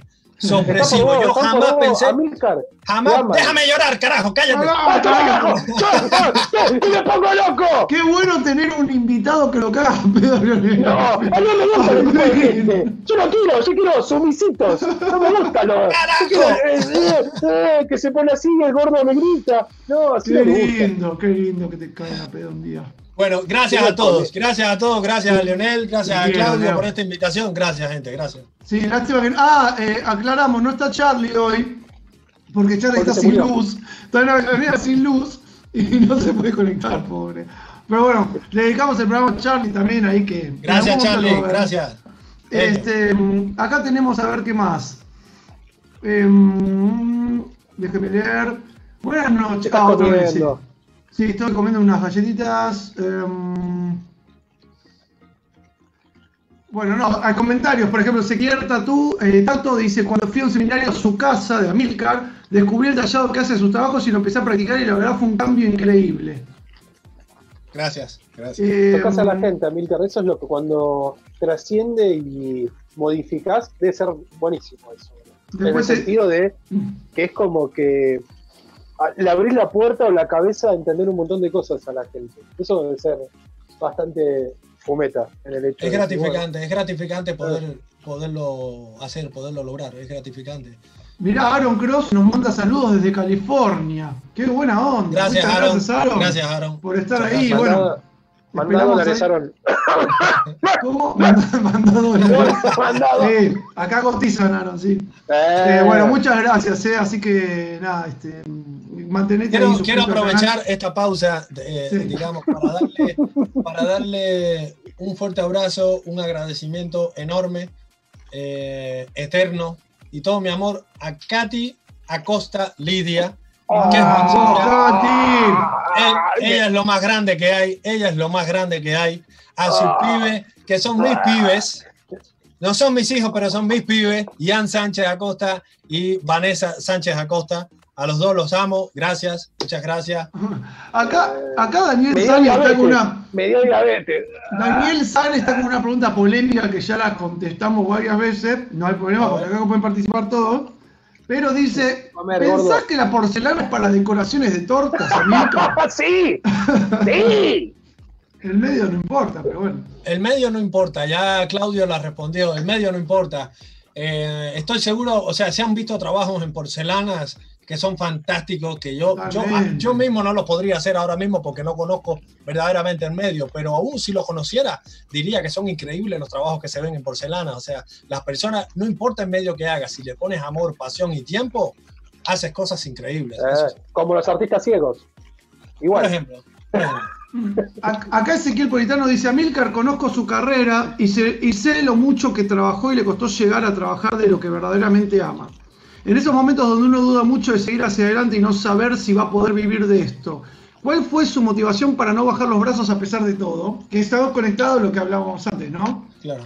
Eh, ¿Qué fue lo que vos dijiste? No, vo- voy a seguir porque este, no puedo bajar los brazos ahora.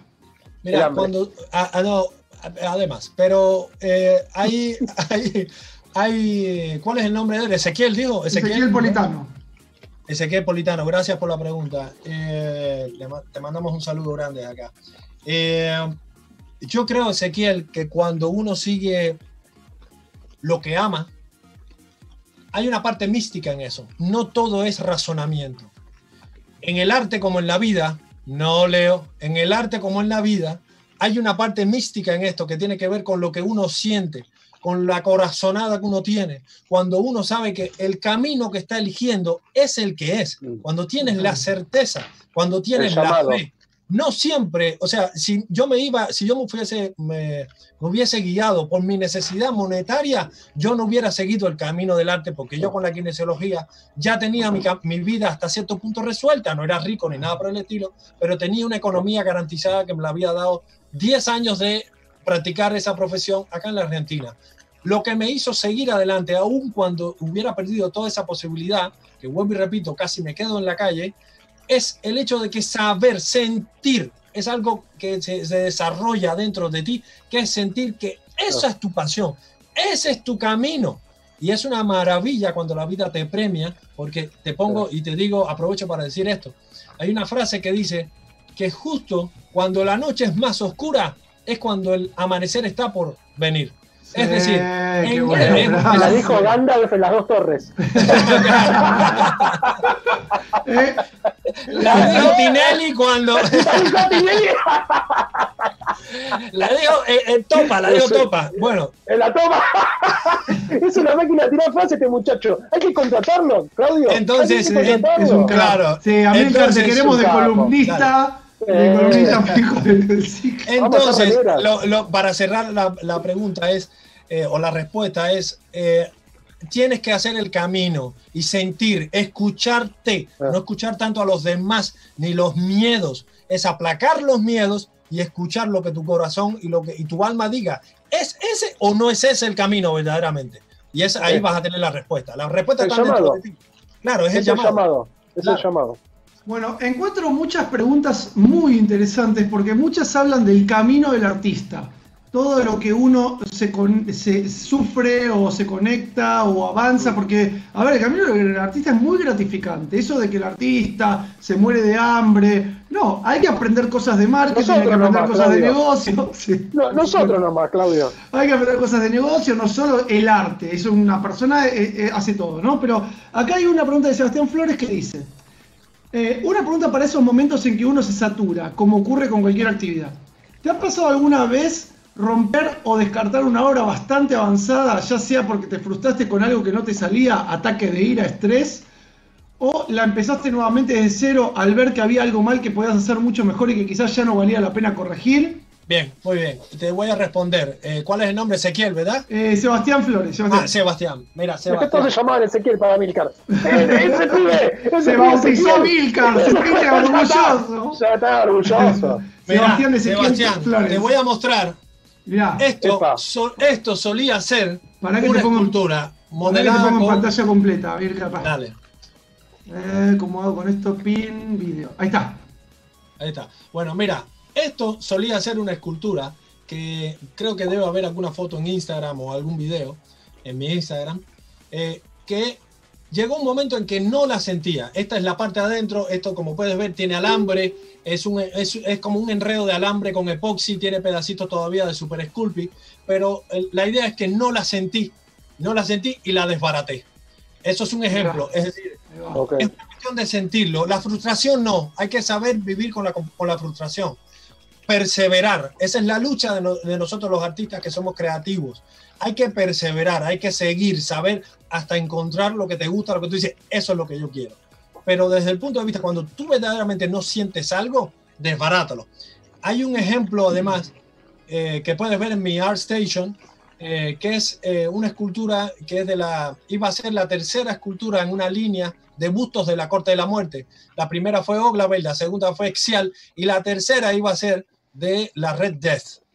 ¿Qué sucedió? Me la rechazaron de Sideshow porque por H o por B no se pudo concretar la línea, no se pudo terminar la, la tercera, que es lo que yo quería, que fuera una tríada de esculturas de bustos. Uh, claro, una trilogía. ¿Yo qué hice? Yo qué hice, en vez de terminarla, por más que me gustara, pero iba a ser un producto diseñado por mí, pero iba a responder a una franquicia que verdaderamente no me pertenece, es de una empresa. Entonces empecé a hacer una escultura, la desbaraté y la empecé a utilizar y a rediseñar para mí. Y lo que está saliendo ahora, si puedes ir a, a la- ahora mismo a... em, si puedes mostrar... Eh. Claudio, la, Sí. la figura es una que tiene muchos dientes, así que es gris. Vamos a buscar, un En- en. ArtStation. ArtStation, sí. A ver, una figura con muchos dientes gris. El que no. renació. No, ah, no. es el, el Cancel Advanced Project. Sí, ese. Justo ese, cancelado, sí. el proyecto justo Claro, cancelado. lo pueden mostrar y yo Sí. voy a, lo que voy a hacer es mostrar cómo está ahora para que puedan ver. Ah, dale. Uh, pará que hice macana con el Zoom. El Zoom tengo que pasarlo. Eh, Es muy jodido hacer esto, ¿eh? Toca cualquier cosa, Claudio. ¿eh? Claudio, deja Acá. de ver. de- Ahora sí. gente. Bien. Así es como está ahora, actualmente. Pará, pará. Voy a mostrar cómo estaba antes y ahora te pongo en pantalla completa. Dale, para, para que se vea bien. Miren cómo estaba antes. Como decíamos, este es un proyecto no terminado, o sea, no terminado, cancelado, digamos. Miren todo lo que estaba trabajado, digamos. Qué locura, ¿no? Hace un rato preguntaban de dónde sacabas toda esta inspiración y bueno, hablábamos mucho de que tenía que ver kinesiología y estudio de, de- de- bueno, estudios que, que estaría bueno contar eso. Sí. Ahí estoy mostrando un poquito. Fíjense Y los detalles que tiene. Y ahí vamos a. eh, volvemos a estudios para. como te- para que eh, paso ahí y ahora maximizo el zoom y ahí estamos. Sí, y te pongo en pin y. eh, Ahí, ahí está, a ver. No, no me estaría saliendo. Qué locura. Video. Ahí está, ahora sí. Muy buena. así Sí, ahora. otro camino. Nada que ver. otro camino. Nada Todos que los ver. dientes desaparecieron, Todo, digamos. todo, todo, todo, todo. Mirá. Y, y- y ahí cuando tuviste que tapar todo eso que ya habías hecho, ¿cómo, Sí. qué, qué- cómo lo viste? Dijiste, uy, no, este, tengo que empezar de nuevo y me quiero matar, o dijiste, bueno, ya está, hay que hacerlo de nuevo, listo. Al principio dije, me quiero matar, porque la verdad que le había puesto mucho amor y era la tercera, iba a ser una tríada de bustos hechos por mí. Ah. La idea en sí estaba genial. Y me parece que ningún proyecto debe cancelarse en el segundo. Me parece que lo más adecuado es terminarlo en tres. Pero bueno, la- las empresas tienen sus razones también, aunque uno no las comparta. Eh, Claro. y son razones que incluso uno ni siquiera conoce muchas veces. Así que al principio fue así, un poco de bronca, un poco qué sé yo, pero después lo dejé descansar y dije, ¿sabes qué? Voy a hacer otra cosa. Y listo, y ya está. Eso fue lo Amilcar, con respecto a esa escultura, el disco que tiene, Sí. ¿qué es el? Vas a hacer, me vas a acordar, y por ahí tiene que ver o no. Hay unos eh, tiburones antiguos que tenían Sí. como una hilera de dientes a- para afuera de la mandíbula. ¿Va a ir por Sí. ese lado? No, no, no, no va a ir por ese lado, pero tiene que ver. A ver, esa, esa boca que ves ahí, o eso, Sí. aparato bucal, lo que quiera que llamarle, esa zona, vamos a ponerle así, por lo menos ahora mismo en mi mente está, se, se llama zona bucal, pero no es la boca y tampoco es un aparato, y es una zona, esta zona de acá.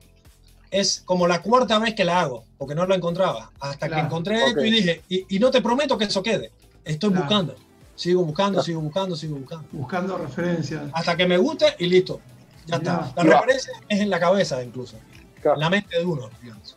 ¿Y dónde encontrás ese tipo de referencias normalmente? Mira, a veces, a veces. O sea, eh, en búsquedas de Google ya te sale directamente, gente que tiene determinadas Yo no condiciones. como para- historial de Amilcar. Me debe dar terror a la búsqueda de Amilcar. Sí. No, no, no. Formateala, formateala. Últimamente, últimamente, últimamente es mucho. ¿Cómo hacer esto en ZBrush? ¿Cómo hacer Ah. en ZBrush? ¿Cómo hacer esto en ZBrush? ¿Cómo mejorar en No, ZBrush? No, no, pasa todo, sí, sí. Olvídate, olvídate. Eh, las ideas vienen muchas veces cuando hay varias maneras. Puede venir de manera espontánea, te puede venir de, de- de- de- a través de un dibujo o te puede venir a través de una imagen. Muchas veces yo trato de no copiar lo que estoy viendo. Digo, a ver, me pongo a mirar imágenes y veo a ver si hay alguna que me despierte algo.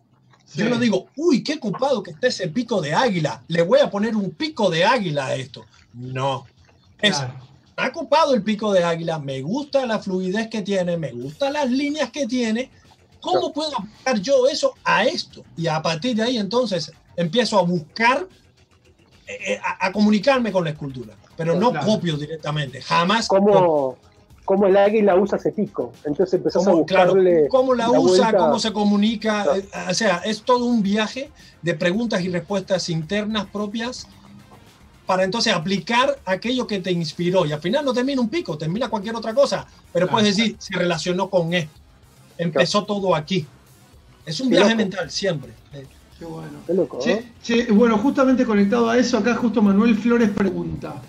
Bueno, dice, en un punto, gracias por tanto, Milcar. Una pregunta, ¿qué sientes que hace la diferencia entre un buen monstruo y uno inolvidable que se convierte en ícono? Uh, que no lo hizo Milcar.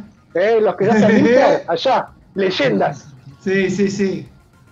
A ver, Hay- un buen monstruo eh, es aquel que cumple las leyes anatómicas, aquel que cumple, si tiene una historia y te la dan, ya sea para una película, ya sea para un libro, ya sea por una historia personal, que cumple, si se, si se te da el background, es aquel que cabe muy bien y que se mimetiza muy bien con el background que te dan.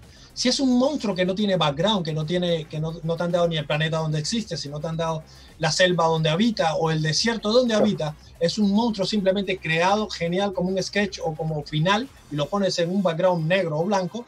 El monstruo en sí tiene que seguir las leyes de la anatomía, el ritmo, la fluidez, el color. Eh, el color tiene mucho que ver con el entorno donde va a habitar también. Cuando ya tú hablas de color, no puedes dibujarlo o no puedes colorearlo si no tienes en mente al menos un esbozo Claro. de dónde va a habitar. El color tiene mucho que ver con eso. Ya la forma también, pero puede habitar por sí sola. La Sí, forma puede habitar por sí sola. No necesitas tanto. Y cómo, y cómo usa el color también, porque de Claro, predadores claro. tienen un color, herbívoros todo eso. tienen otro Claro, color. claro, claro, si es una presa o un depredador, Sí. si es, o Sí, sea, sí, ¿qué, sí. qué parte de la cadena alimenticia. Ahora, para convertirse en un monstruo icónico, hay gran, en la historia del cine hay monstruos que están espectaculares, que cumplen todo para ser un gran monstruo, una buena creación, pero no se transforman en icónicos. Por ejemplo, hay un monstruo, hay una película que a mí me encanta eh, y también eh, admiro mucho al, al creador que es Neville Page. El monstruo es el monstruo de Cloverfield, la primera película de la Ah, trilogía sí, de sí. Cloverfield. Es un monstruo que está espectacular desde la concepción hasta llevarla a la pantalla. Sin embargo, no, es, no se ha convertido en icónico como un depredador o como un alien. ¿Qué significa esto? ¿Qué significa esto?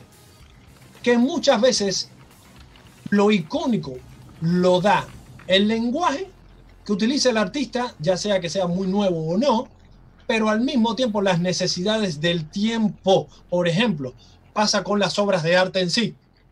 La primera película de Blade Runner que hizo Ridley Scott, en su momento fue un fracaso financiero y desde otro punto de vista también. Sin embargo, con el tiempo, fuera de su tiempo, se convirtió en un clásico. Entonces, lo mismo pasa con las criaturas. Hay criaturas que hoy las vemos y las rechazamos porque no estamos mentalmente preparados para darnos cuenta de cuánto influye. Para mí, el monstruo de Cloverfield, hay artistas que, que generan monstruos que son icónicos, pero no solamente por el monstruo, sino por la manera en que la generan. Neville Page es uno de ellos, Carlos Guante es otro de ellos, que son artistas que marcan tendencia, marcan tendencia y se vuelven características de un monstruo icónicas, aunque el monstruo no sea icónico. Bueno, espero haber respondido a cabalidad. No, y además Cloverfield capo. también ¿Cómo- responde a lo que vos dijiste en su respuestas tan momento. copadas? que tienen un montón de Gracias, cosas, tiene pulgas, o sea, tiene animales que habitan el mismo monstruo, tiene es un montón de cosas que es una maravilla, es sí, una maravilla. Tiene adaptaciones acuáticas que después se vuelven terrestres. es como Pero no que solamente eso. Tiene agallas. Claro, y no solamente eso, ya no, más allá de- del monstruo, la concepción del monstruo, por ejemplo, la voz del monstruo, te das Sí. cuenta que es un monstruo y cómo se comporta en la ciudad, te das cuenta que es un monstruo que se está quejando, es un bebé y se comporta así, de esa manera. O sea, es, es una maravilla ese bicho. Sí, es sí, una que los maravilla. atacan las hormigas. Es una maravilla, es una maravilla. es una sí, buena Yo amo, amo ese diseño y admiro grandemente al diseñador también. Ah, está bueno. Sí, acá tenemos este, Leonardo de los Santos de Uruguay. Pregunta, Uruguay. Pregunta, eh, Amílcar, primero que nada, sos un genio, eso no lo pregunta, lo dice. Gracias. Y ahora mundo, pregunta, te, quiere. Vamos, hay que, hay que Sos un a genio, eso. Sí, vamos a vender remeras Amílcar. Pará. y dice, te, te quiero preguntar, ¿artista se nace ¡Eh, o se remera! hace? Ay, ¡Compren! Papá. ¡Compren! ¡Eh! Papá. ¡Eh! Vamos, ahí está, mirá, el Eh, merchandising. eh, merchandising. Yo me quiero, yo me quiero y con eso basta. Vaya. Eso, ¿eh? Amor propio, no ego, ¿eh? Amor propio. Eso. Amílcar, ¿se, ¿artista se nace o se hace? Dice acá Leonardo de los Santos. No se nace. No se nace. Me gusta. Es lo más que te puedo decir, no se nace. Me gusta Estamos todos muertos, según Amílcar. Porque si no, eh, Como- nos condicionamos a que si no nacimos con genes artísticos, cagamos, digamos. No se nace. No se nace. Eh, Sí, pero. Pero sea, hay artistas, mira, pero además vamos a ampliar el término de artista. El artista no solamente es el que se dedica a las artes plásticas. Tú puedes, ser un artista, tú puedes ser un artista en cómo, en cómo tú haces todo y logras todo en tu vida. Cómo amas a tu mujer, cómo amas a tus hijos, cómo cuidas a tu perro, cómo le cocinas a tu familia, cómo agradeces a tu mamá, cómo le das un abrazo a tu mamá, cómo tratas a tus vecinos, cómo, eh, cómo llegas al trabajo y le das los buenos días a todos. Hay tantas maneras de expresarse, porque el arte en sí es amor a la vida. Entonces, una persona no puede ser un gran artista cuando tú estás enojado con la vida. Es imposible. Sos una máquina de tirar frases, Amílcar. sos un capo. Vieron que hablar capo, con Amílcar es como hablar con Sí. un filósofo de la escultura Sí. que A, te inspira y a decís, que le preguntás, salgo de acá. ¿qué te sentís? ¿Cómo te sentís vos? O sea, es como que te, te golpea lo más profundo, no te responde, no, estamos monstruo. ¿Qué es el monstruo que tenés adentro? Te dice a mí. ¿No somos todos monstruos en esta sociedad? Y vos te vas a decir, ¿qué carajo está diciendo este tipo? Pero es muy decir un bueno. montón de cosas y decís, pará, este tipo tiene razón. Pero la Como, creatividad, mucha de la creatividad de Amílcar sale de replantearse cosas obvias, ¿no? Eh, Decir, a ver, voy a, voy a cuestionar esto, que todo, no lo no voy a decir porque sí. Nunca vayas a comprar ropa con Amilcar. Pero es que todos los días, sí. Pregúntale a Katy el problema que tiene. Pregúntale a Katy el problema que tiene. Mira, todos los días, date cuenta que este mundo, que ya este mundo en el que vivimos, que para nosotros ya van perdiendo de a poco con, con, con el vivir y con los años, con el paso de los años, va perdiendo brillo o puede perder, eh, digamos, cosas que nos asombre, para lo cual nosotros, nuestra mente y nuestros ojos ya están adaptados. Todos los días nacen niños para los cuales este mundo es un arcoíris fantástico y maravilloso. Y lo que para mí es, ah, sí, el Bondi 99, para ellos va a ser, ¡wow! ¿Qué es eso? ¿Cómo se llama? No se llama Bondi. Bondi y tiene número. Es algo así. Claro. Es algo así. También es, Sí, sí. es triste porque pibes de ahora, o tal vez pibes en dos generaciones más, no van a saber lo que es un rinoceronte si no hay una foto. Porque ya no hay más rinocerontes. es sí. como que el, el hombre en su en su afán también de la expansión destruye un montón de lo que y le quita, le borra con el codo un poco las cosas que Y hay. sí, y sí, y que es sí, un dolor de huevo eso, que nos pasó a nosotros, por ejemplo, con el dodo. Yo qué carajo sé cómo es el dodo. Y Y por sí. ahí el dodo, viste, era una, un ave majestuosa, era una bosta seguro que no podía volar. Pero es como que, viste, no sabés cómo, Sí, sí. cómo se van borrando Pero bien que te gusta la milanesa, ¿eh? Bien que te gusta la suprema. Bien que te gusta la suprema, ¿eh? Bien que te gusta la suprema, ¿eh? ¿Me estás diciendo gordo? Suprema la napolitana, como te gusta, ¿eh? Esa ave de mierda, como te, como te, una supremita de dodo, una supremita de dodo, papá. Una suprema de dodo. Una Che, milanesita. Amilcar, acá dice, eh, Roberto Ami dice, cada vez que quiera abandonar la escultura voy a mirar este video. Y, Ah, gracias. y fuerte. Sebastián dice, es un gurú. Así que nada, muy buenos comentarios. Mira, acá Luis, Dona- eh, Luis Donaire eh, eh, preguntó esta cosa varias veces y a mí se me fue pasando por, porque, bueno, No lo querés al flaco, decí la verdad. No, se me va a pasar. No, no, Por suerte tenemos mucha gente, mucha gente comentando.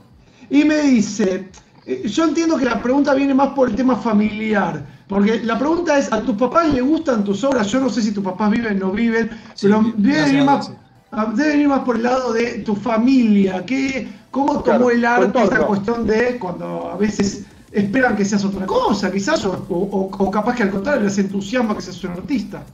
Bueno, a ver, eh, Luis, gracias por la pregunta. Es la primera vez que me preguntan algo así. Gracias por participar y por estar con nosotros acá. Eh, mis viejos tenían una relación distinta a la que tengo yo con el arte. Vienen de otra generación. Y eh, si tengo que nombrar a alguien en mi vida familiar, de sangre, familiar de sangre, que eh, verdaderamente me apoyó mucho que fue mi precursor, si se quiere, fue mi hermano, es mi hermano. Eh, mi hermano, si yo tengo, póngale cualquier porcentaje de, eh, de talento para el arte o de predisposición para el arte, mi hermano lo tiene triplicado. Mi hermano, si yo, sí, si yo dibujo y esculpo hoy y tengo esta tendencia hacia el arte es porque creo que de chiquito nací viendo a mi hermano dibujar. Y era un maestro y es un maestro sin haber estudiado. O sea que yo, yo verdaderamente lo que tengo de artista se lo debo a las migajas que él no tomó de talento. ¡Qué loco! Ah, qué locura. Así- Ah, y lo cómico de todo esto que mi ¿Se hermano dedica es o no se fiscal. Es Es fiscal. Es fiscal. Mirá. Es abogado. Es abogado. Y uno, y, y uno muy bueno. O sea, es maravilloso en lo que hace también. Porque sabe dibujar. Claro. Obviamente. Vieron que el arte nos ayuda en la vida, chicos. Mirá vos, y pero él pasó por un momento que quería ser artista y, y vio que no, no convenía, o dijo, no, a mí me gusta ser fiscal y yo voy a ser fiscal, digamos. Yo lo que creo es que nunca hizo el pasar, el, el, el, digamos, el traspaso, no cruzó el puente de Claro. es un hobby a quiero ser profesional. Ah, perfecto. Ese puente él nunca se planteó cruzarlo. Puede ser que sí, pero no lo suficiente como para determinarse a decir voy a ser profesional, voy a cruzar este puente, por más que sea con tablitas y sogas y al estilo Indiana Jones. Ese puente que todos los que nos dedicamos al arte profesionalmente tenemos que cruzar. En este caso él no, él dijo, yo soy bueno en esto, me gusta la historia, leía mucho, sigue leyendo mucho, es verdaderamente un erudito, y él dijo, esto es lo que se me da con más facilidad, tal vez, no sé, la verdad no lo sé, pero bueno, se decidió por eso. No, por ahí tal vez es tipo su, su cable a tierra, como que lo disfruta, eh, tiene su, su mundo o su realidad Claro, física de fiscal y la eternidad de dibujar es como que viste, se puede entregar un poco. Claro, por eso, es un hobby. Él nunca pasó de, nunca lo quiso sacar de ese, de esa.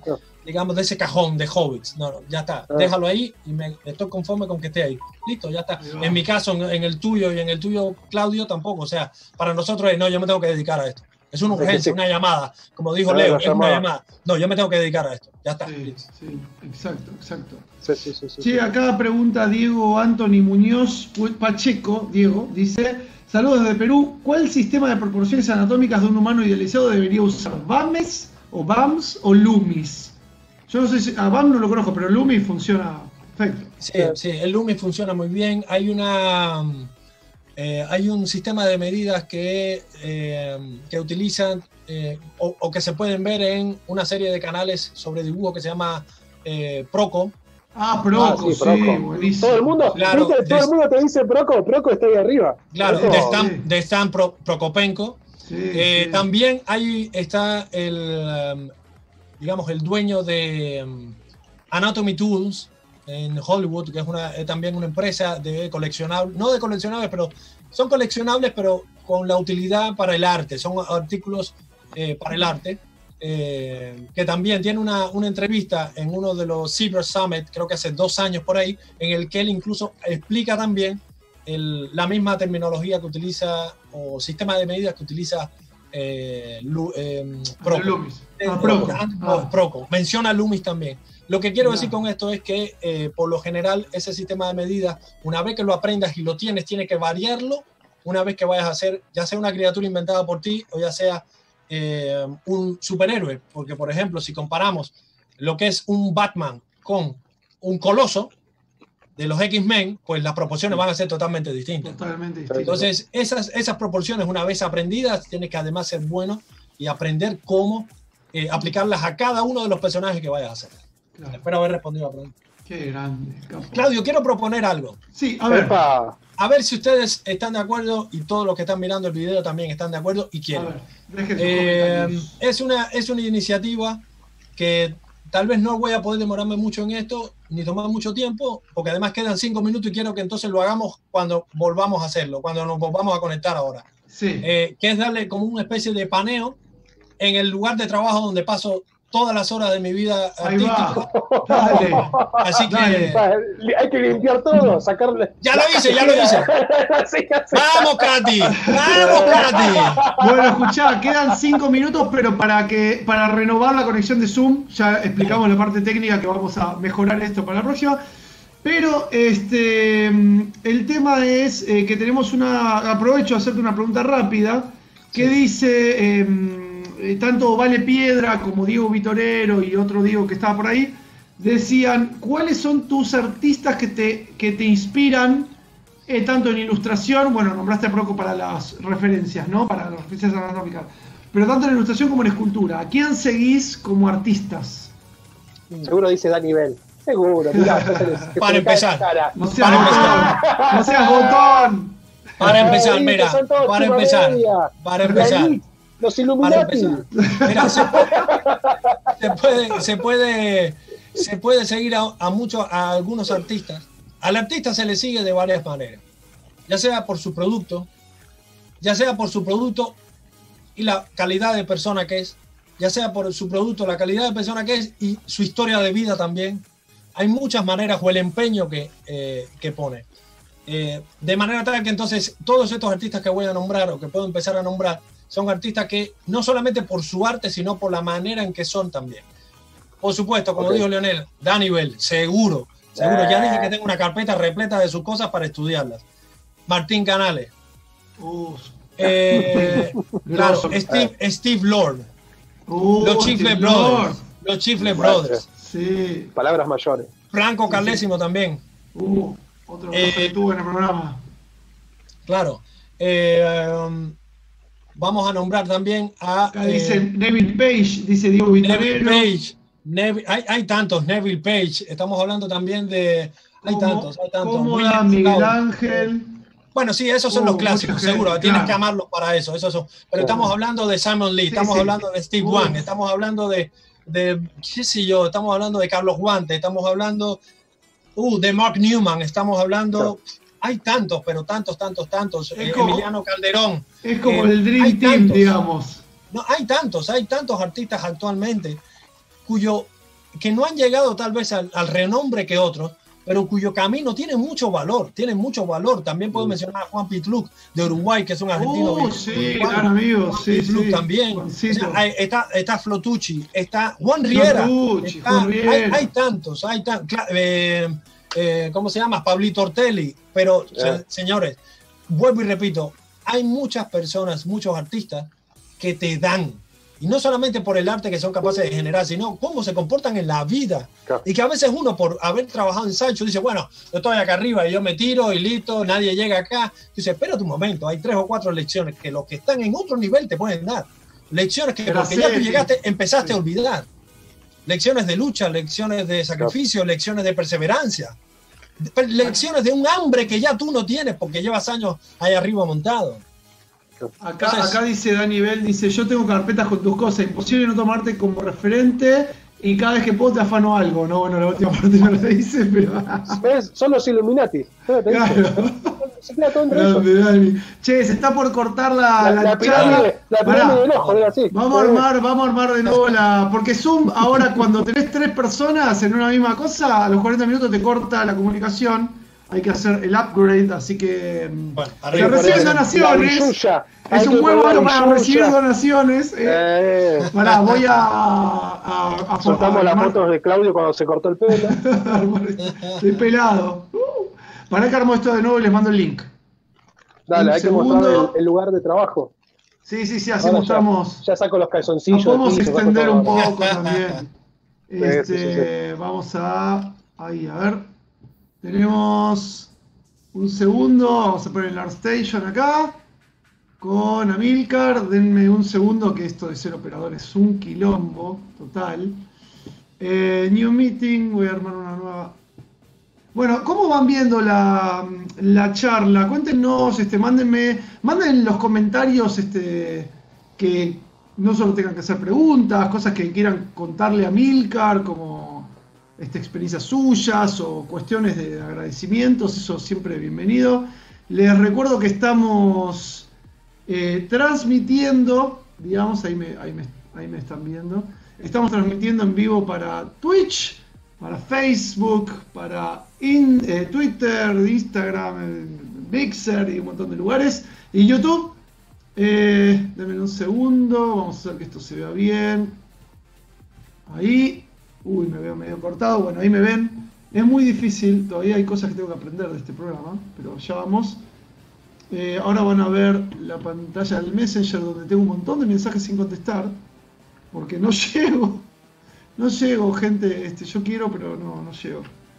Le ponemos la mejor. Ahí está, ahí le mandamos. Volvemos a station y ahí ya cuando tenga. Vamos a poner, vamos a poner esta. Vamos a poner el zoom. Gracias por la paciencia. A los que están ahí. Bueno, ahora van a ver cuando Amilcar se conecte de este lado. Va a aparecer ahí. Y bueno, ¿cómo lo van viendo? Cuéntenos un poco. La verdad que la interacción siempre viene muy bien. Ahí, ahí está Amilcar de nuevo. Admitir. Como les digo, cuando hay charlas de dos personas como esta, no hay límite de tiempo, pero cuando a partir de las tres personas sí, lo que pasa es que probé otros programas como Hangouts y, y Skype, etcétera, y todos te, te, dejan una ventanita chiquita y una persona en grande, y la idea es bueno que estemos todos ahí al mismo tiempo. Así que, bueno, falta. Leo. ¿Me escuchas, Claudio? Sí. Sí, Amilcar. Eh, estoy esperando que se conecte Leo y bueno, vamos a mostrar tu, tu, tu lugar de trabajo. Claro, vamos a ver. Ahí está, vamos a ver, Cochi, vamos a ver. Admit, listo, vamos a sacar, ahí está, está conectando. Y bueno, nada, este, queremos saber cómo, cómo van viendo la entrevista, quedan 20 minutos, quizás nos extendemos 10 minutitos más, eh, si quieren quedarse, charlar, este, contar un poco, o, o que Amilcar Que la, que la gente se vaya, que la gente. ¡Eh! Bueno, ¿Qué pasó? vamos, Pará, vamos a empezar. Le voy a poner a Milcar en pantalla grande. Video. Ahí está, listo. Bueno, muy bien. Ya Si quieren que paren, si quieren que pare en algún lugar, por favor, me lo dicen. Dale, anda explicando un poco qué tenemos por ahí. Sí, sí. Bueno, Sí, este ¿Qué es mi lugar de ahí? Este es mi lugar de trabajo, como pueden ver. Eh, a ver, ¿cómo? Ah, no, así. Ok. Acá vemos, por supuesto, siempre los libros de anatomía. Eh, libro de anatomía. Acá vemos una escultura de mi gran amigo eh, David Aigo, Mirá, Es un Krampus. sí. que está genial, impreso en 3D. Me tengo que acostumbrar a que esto se ve al revés. Ah, Bueno. sí, sí. Esto se ve al revés. Acá ven, eh, la cámara lamentablemente no puedo acercarme porque es la cámara de la computadora, pero bueno, ven la- algunas referencias de carabelas, ven esta, esta pieza que también fue impresa en, en- que la pueden ver en, el, en ArtStation, fue impresa en 3D, esculpida en, en ZBrush y impresa. Esto es una pieza que llevé hace dos años, a, se ve muy, muy, muy lejos, eh, a Montepalusa, que se llama Sí, El Zancudo. Eh, acá está el original. Pueden haber algunas, pueden ver acá algunas esculturas también. De este lado es dedicado a la escultura, ¿sí? Entonces, frente a mí. De los cráneos. sí, claro, los cráneos, referencias, todo esto. Acá es donde se llama todo el enchastre. Acá, frente a la computadora, está entonces, tengo libros. También tengo algunas esculturas, pero tengo, tengo libros, digamos. Eh, muchos libros. Qué bueno. De este lado, entonces, Es como estar en Disneylandia. Pero de Sí, mal. Acá tengo, en, estas, en esta área, entonces tengo libros, tengo películas, tengo documentales en DVD. Como pueden ver. bueno. ¿Y qué tenés? ¿Qué tenés? Contá, Milka, ¿qué tenés ahí? A ver. De Bueno, Vamos a sortear. películas. Vamos a sortear, a ver. No, Sorteamos. vamos a ver, a ver, por ejemplo, acá está Aves, eh, el arca de la foto de las aves de National Geographic. Está eh, el arca de las fotos, en general, otro libro más del arte de la, de la National Geographic. Inferno, el infierno de, de Wayne Barlow. Eh, esculpiendo la galaxia, la guerra de las galaxias. Qué Eh, Star bueno. Wars, la- la- digamos, los trajes de la, de la original. Mucho arte Fashion. conceptual. Fashion, armas. Está el cómics también, están los cómics también. Acá Todo preguntan si, si tenés, un, tenés un sketchbook tuyo. ¿Vos? Sí. ¿Sketchbook tenés? Sí. ¿Cómo se puede conseguir? Bueno, ahora hablamos de eso. Ahora hablamos Dale, de eso. El- dale. el- la, primera tirada, la primera tirada se acabó ya. La bisulla. Eh, La primera tirada se acabó ya, así que hay que volverlo a hacer. Juancho Todo esto amarillo que ven acá son colecciones, mi colección de. de- espera, a ver, Dios mío. Todo eso amarillo que ven ahí son mis colecciones de National Geographic, que amo también las National Geographic. Eh, arriba, entonces podemos ver algunos juguetes que me gustan coleccionables. Ten- tenemos la nave eh, de, creo que el Narcissus, creo que es de, de Alien, la original. Las dos naves de, de Predator, Geta Robot, Messenger, Grand Messenger, Uf, eh, etcétera, etcétera, etcétera. Entonces, bueno, hay un montón de libros. Ahí están los audiolibros de Harry Potter para practicar el inglés, eh, etcétera. Acá vemos entonces, por supuesto, no voy a hacer una, un paneo de justicia por Fernando, que no nos olvidemos por la cuarentena. Ese, Sí. e- ese caso verdaderamente golpeó mucho. Yo tengo pibes en la casa acá que son jóvenes y la verdad que es lamentable, así que justicia que, Sí. eh, por él. El por caso de los Fernando. rugbyers, sí, acá en Argentina. Claro que sí, caso de los, de los Raptors. Allí tenemos una, una, una máscara regalo de mi amigo y también mentor Casey Love. Una máscara Ah, hecha de hule. claro. Oh, Qué loco. es, es como un museo tu, tu lugar Sí, de tal cual, parece un Noferatu. claro. Entonces ahí tienen, bueno, esto, a esos dos ya los conocen, el Predator, una, Claro. una Uh, copia. mostrar el Predator ahí, por favor. No, lamentablemente no puedo acercarme más, pero, Ah, por se- el cable, está bien, listo. claro, pero sí puedo acercarlo a él. Qué susto. Pero igual Y ahí es como se cae el Predator. No, no, déjalo ahí, déjalo ahí. Qué lindo. Ahí ¿Ese es el original Hermoso. o ya es una de las, de las réplicas de, de Sideshow? Es una de las copias bases de los Ah. masters de, de eso. Es una de las copias lindo, master. Qué lindo. Esta pesa, las otras no. Sí, claro, claro. Y Claro. atrás, atrás, bueno, tenemos a Axial. Sí. Así que bueno, bueno, ese es mi, ese es mi rincón. Ahí es donde, aquí es donde paso la mayor parte de mi tiempo. Qué bueno, qué bueno, la verdad. Bueno, buenísimo bueno. como para como para motivarse, ¿no? Uno saber que tener las cosas eh, alrededor de sus mentores y todo lo que le motivan al lado este, es súper, súper interesante para, bueno, justamente para estar inspirado todo el tiempo, ¿no? Capaz Sí, que te diste vuelta así, ¿verdad? y viste. Matrix y, y te acordaste de, uh, puedo poner algo de eso. Bueno, buenísimo, buenísimo. No hay nada más lindo que poder tener una duda, una trabazón, ya sea mental a la hora de crear un personaje o lo que sea, y simplemente decir, yo sé que vi eso en algún lugar, yo sé que esta idea Claro. se conecta con una imagen, con un escrito, con y hacer así, mirar a la derecha y decir, ahí está, es acá donde lo vi, buscar y seguir trabajando. No hay nada más lindo que eso. Y no tener todas las opciones en internet, sino acá, Claro. en las manos, la tengo acá. Yo amo los libros. Hay personas que dicen, no, porque tengo libros y no los utilizo. Sí, es cierto, pero en algún momento, pero son libros que son adorables. Yo amo los libros por el hecho de que sean libros. Ahí vemos a Leonel también mostrando Ah. sus cosas. Ah, que no sé, yo me estaba sentando, pero le muestro si quieren. ¡Qué cara! Yo muestro, mirá, pum. Mirá, Vamos a mientras vamos, a- vamos a mostrar ahí, yo mientras voy preguntando, Sergio, eh, Sergio León dice, no es una pregunta, pero debo agradecer a Milcar las charlas en Expos en las que se ha quedado aconsejándome lo artístico con mucha humildad. Habla eso muy bien de él y me pasó lo mismo con Dani. Ah, Qué grande. ah, ahí Gracias, es donde se pinta. Este es el a- lugar de pintura. Bien.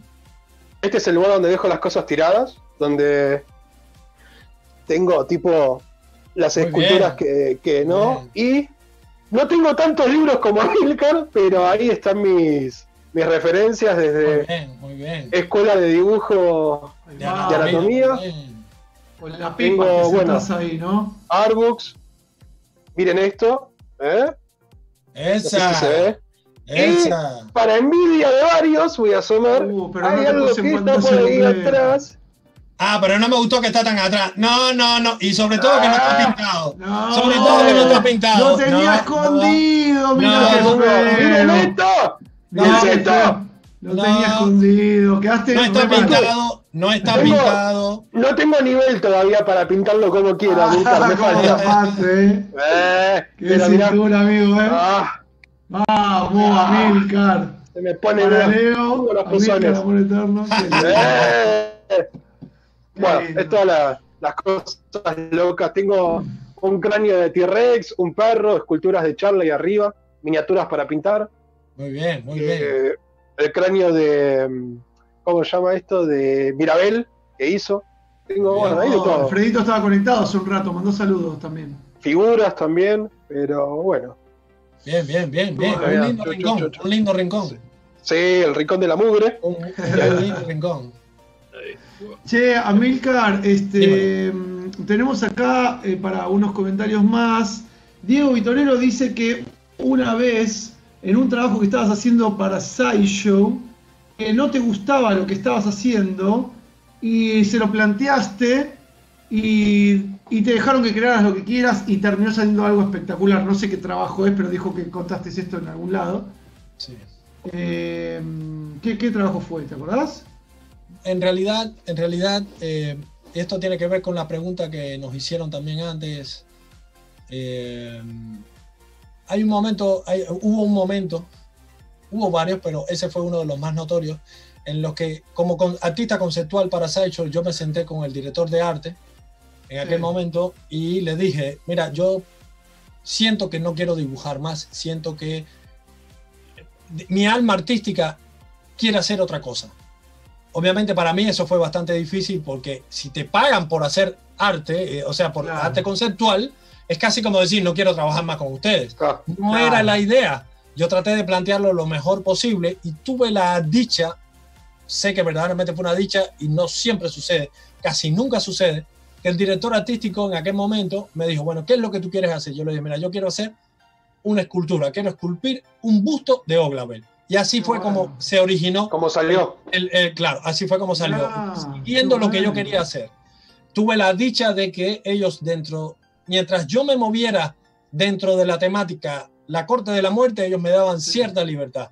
Entonces, bueno. gracias a Dios eso sucedió así y bueno, ahí están los gustos. Primero después, después Exial y bueno, lamentablemente el tercero no se pudo hacer, pero bueno, ahí está. Bueno, pero qué bien, qué bien igual contar que a- aunque uno trabaje ¿no? en una empresa top, etcétera, que si uno tiene una inquietud y quiere realmente hacer un cambio y, y tener una, ¿cómo se dice? Que decir, me encanta lo que hago, pero quiero hacer otra cosa y, y estoy trabajando y me pague, no tener el miedo de decir no lo voy a plantear por miedo a perder el trabajo, Bueno, perder el lugar. y no, fue, y no fue la primera vez y la única vez, porque antes de irme de Sideshow, antes yo dejar la empresa, esto mismo fue lo que sucedió.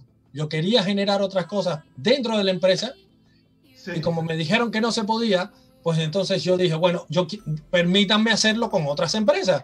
Claro. Me dijeron, no, eso no es posible. Y yo dije, bueno, entonces me tengo que ir. Claro, Y listo. claro, totalmente. Pero no por eso dejé de seguir mi camino, no por eso dejé de buscar Claro. lo, mi- lo- lo que yo sentía que tengo que hacer. Qué bueno. Che, Siempre fiel a tu estilo. Sí, sí, totalmente. Como, como poder jugar. Siempre y cuando mi familia, siempre y cuando mi familia no sufra por eso. ¿Sí? Eso es importante también, ¿eh? Eso es importante. Mirá, en correlación a lo que contá, a la, a la pregunta que te habían hecho antes de tu hermano fiscal, el gran artista, acá conta Luis también que dice que gracias por responder eso porque justo su hermano es un gran dibujando y ahora es policía en Perú y él hace esculturas y no es tan bueno, digamos, este, no, no es que no es tan bueno, sino como que su hermano tenía muchísimo más dotes eh, naturales, ¿no? Así pasa, Así así que, pasa, mirá así vos. pasa. Che, bueno, estamos en 23.53. Quiero hacerte unas preguntas más. Dale, este, dale. Más y, íntimas. y vamos cerrando. Ahora, ahora Eh, nos vamos sacando la ropa. Ya bueno, eh. Sí. Mira, si hay algo, si hay algo, ¿no? Quizás no, pero ¿hay algo que quisieras cambiar de tu carrera artística? ¿O que hubieras querido cambiar? ¿O que lo quisieras cambiar a futuro? Sí, sí, hay varias cosas que me gustaría cambiar y estoy trabajando para ello. Estoy ¿Ya? trabajando en ello. Eh, sobre todo mi relación con los nuevos tiempos que corren. Eh, existen muchos trabajos que me gustaría hacer dentro del arte y que necesitan de mí un, un cambio de, en cuanto a mi relación con el arte. Ahí va. Eh, y hablo, hablo desde el punto de vista de eh, ganar en eficiencia. Eh, a veces, o sea, hasta el día de hoy yo he logrado hacer un arte que es fiel a lo que yo siento y a la manera que tengo de ver las cosas.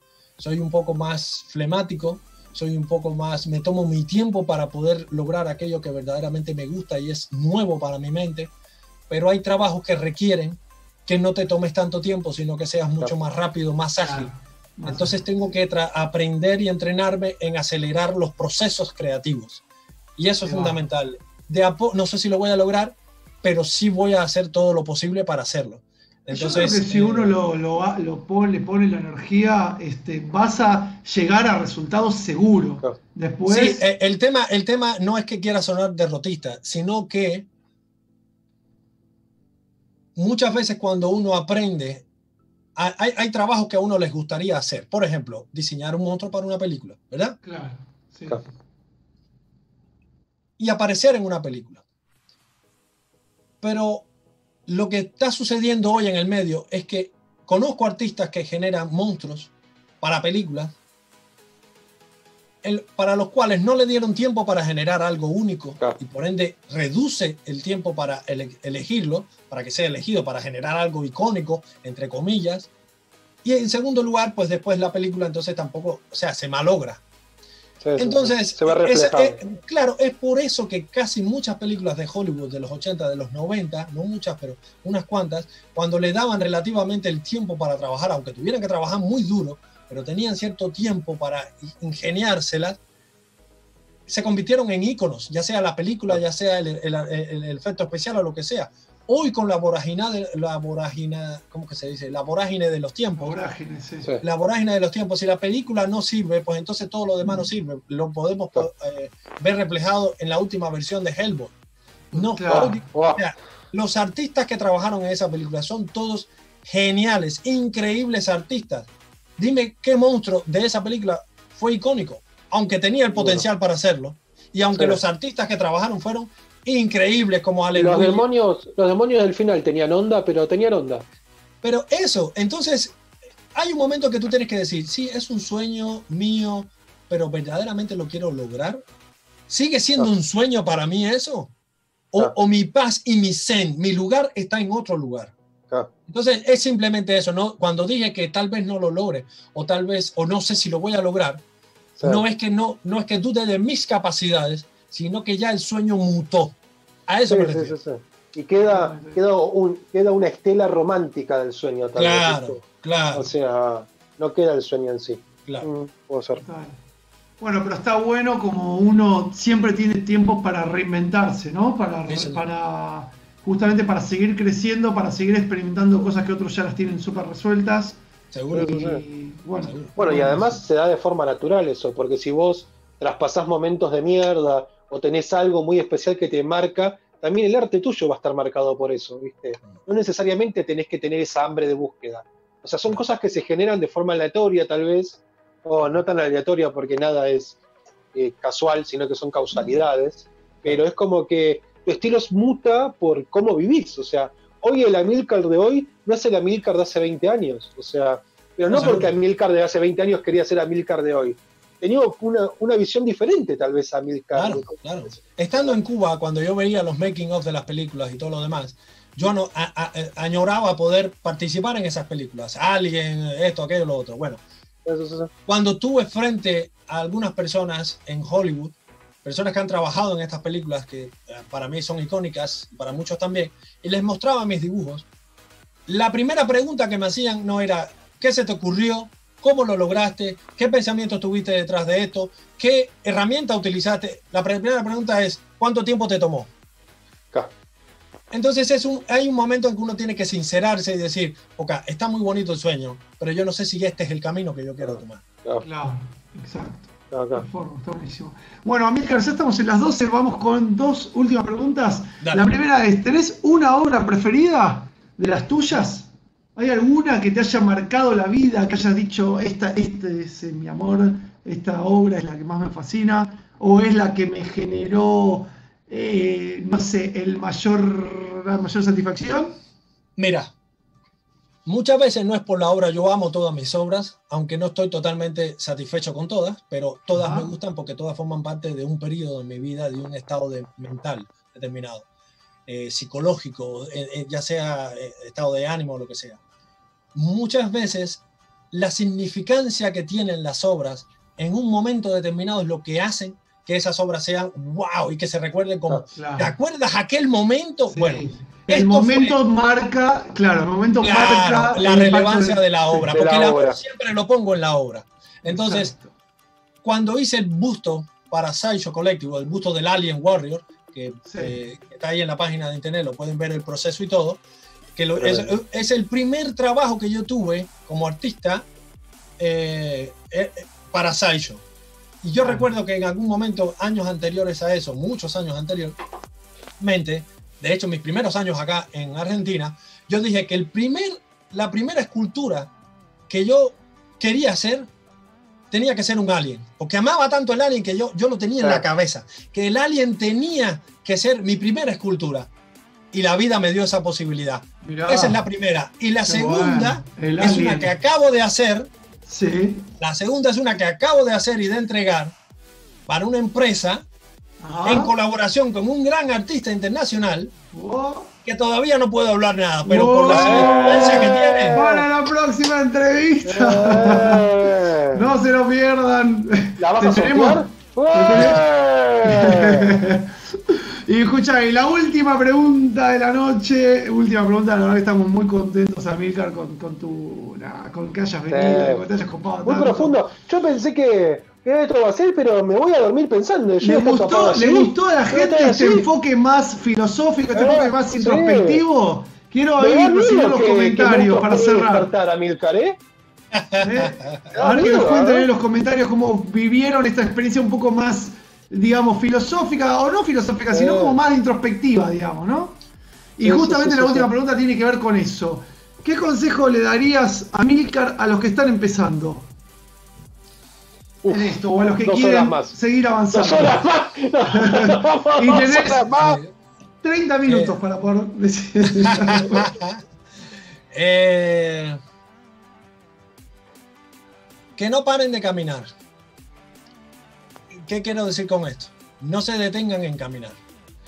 Muchas veces uno no tiene todas las energías y la vida no acompaña los problemas de la vida cotidiana, los problemas de la Argentina, los problemas del coronavirus, los problemas financieros, los problemas con la pareja, las situaciones de la vida, porque son situaciones de la vida. Eh, no acompañan para que uno esté verdaderamente en paz o equilibrado para poderse enfocar en el arte. No lo abandonen si es que verdaderamente ese es, eso es eh, su objetivo y su amor profundo. No lo abandonen, no lo abandonen. Una de las grandes, una de las características de los grandes artistas que pasaron a la historia es que no importa qué problemas tuvieran en la vida, ellos siempre tenían el arte. Siempre tenían el arte.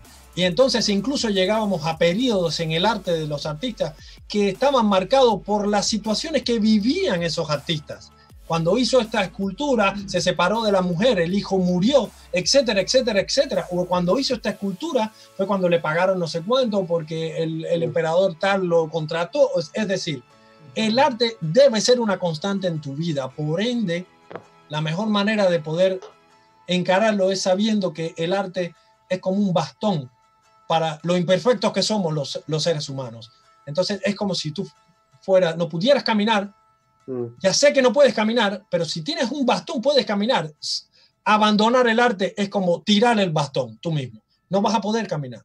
Entonces, mi consejo para todos los que comienzan ahora, para los que están empezando o para los que puedan tener un periodo de, de stop o de frustración, como ya les expresé, que yo también lo he tenido, es que no se detengan, que es un proceso, como hablamos en una parte de la charla, es un proceso, no es un hago, termino, me pagan, como quieren vendernos las empresas, como quieren vendernos el mercado.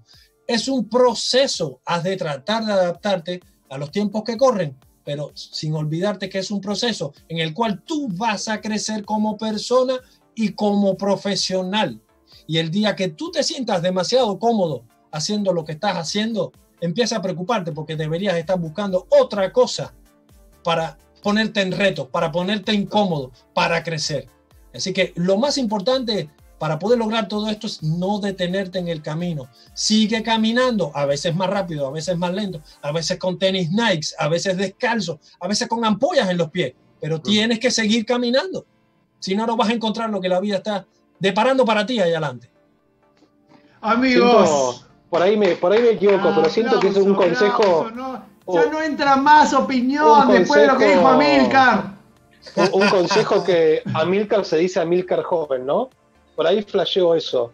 Que es el Amilcar de hoy que le dice a la Milcar que está arrancando, ¿no? El, el tal vez eh, las dudas, o sea, todo lo que dijiste, lo que acabas de decir, son pensamientos desarrollados por haber tus mismas vivencias, ¿no? Por ahí esa Milcar que arrancó era la Milcar que pensaba que era todo rápido, era Milcar que pensaba de que los procesos tienen que, o en eso en el que voy a volver a ser kinesiólogo. Es muy loco eso. Cuando Está todo bien, pero el último que tiene que decir algo acá soy yo, Leo. Totalmente, sí. ¡Ah! Cortaste ¡Ah! todo el clima, Leo. Todo el yo. clima. Todo el clima cortaste, Leo. Ya, me, voy a vengar yo. Ya me voy a vengar. Acá Bueno, el que tiene la última palabra soy yo y después Eh, Claudio, Es el carajo. invitado, Yo señor. van a venir. Cuando yo me muera, cuando yo me me van a extrañar, boludo.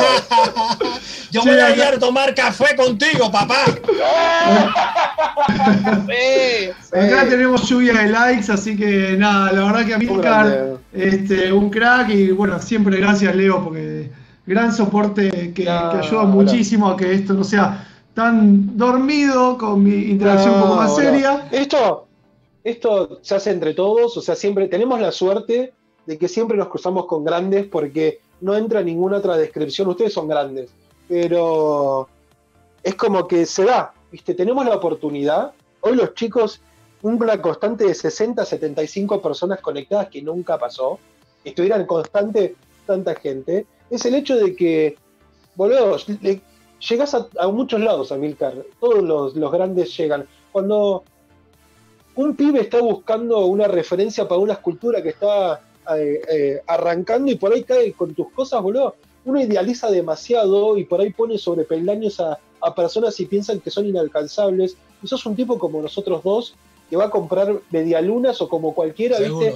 Que, sí. que usa barbijo cuando sale a la calle, ¿viste? No sí. está seguro, por arriba de nadie, ¿viste? Y es muy No, loco eso.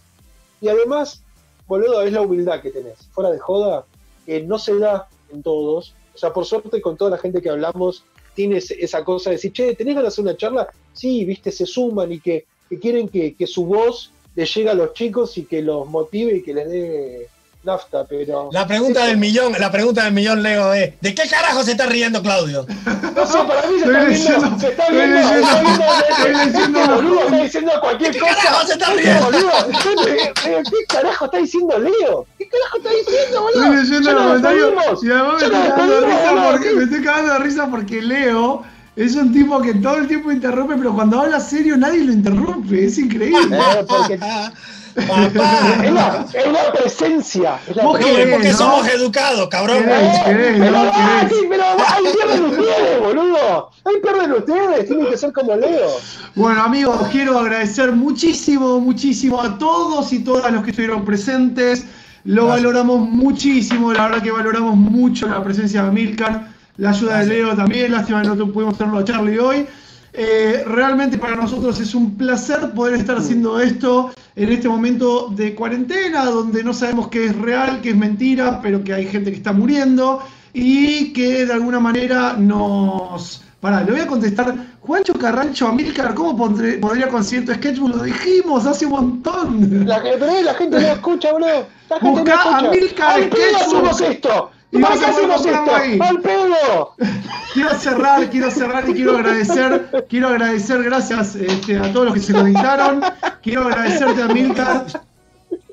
Quiero agradecerte a Milcar de corazón porque la verdad que siempre tenés esa humildad, esa energía, esa buena predisposición y, y esa calidad artística y esa cuestión de eh, siempre decir algo que te ayuda a recargar energía, como decía alguien recién. Este, si uno yo, está deprimido, mirate el video. Así que si estás deprimido, mirate este video. Si no sabes si dudás sobre escultura, mirate este video. Si dudás sobre arte, pintura, dibujo, lo que sea que hagas, mirate este video y escuchalo a Mirkan, que Eh. lo tenemos, gracias que lo tenemos para, para cosas. con, con más dudas. Con más dudas, ¿no? Te queremos, Amilcar. Bueno, gracias, Gracias, gracias, Gracias, a por todos. invitación, gracias a todos por participar y por favor sigan haciendo este ciclo que está genial. Gracias. Eh, eh, Nos, Gracias. nos vemos. Chao, suerte. Chao a todos, Adiós. chao. Chao, chao, chao.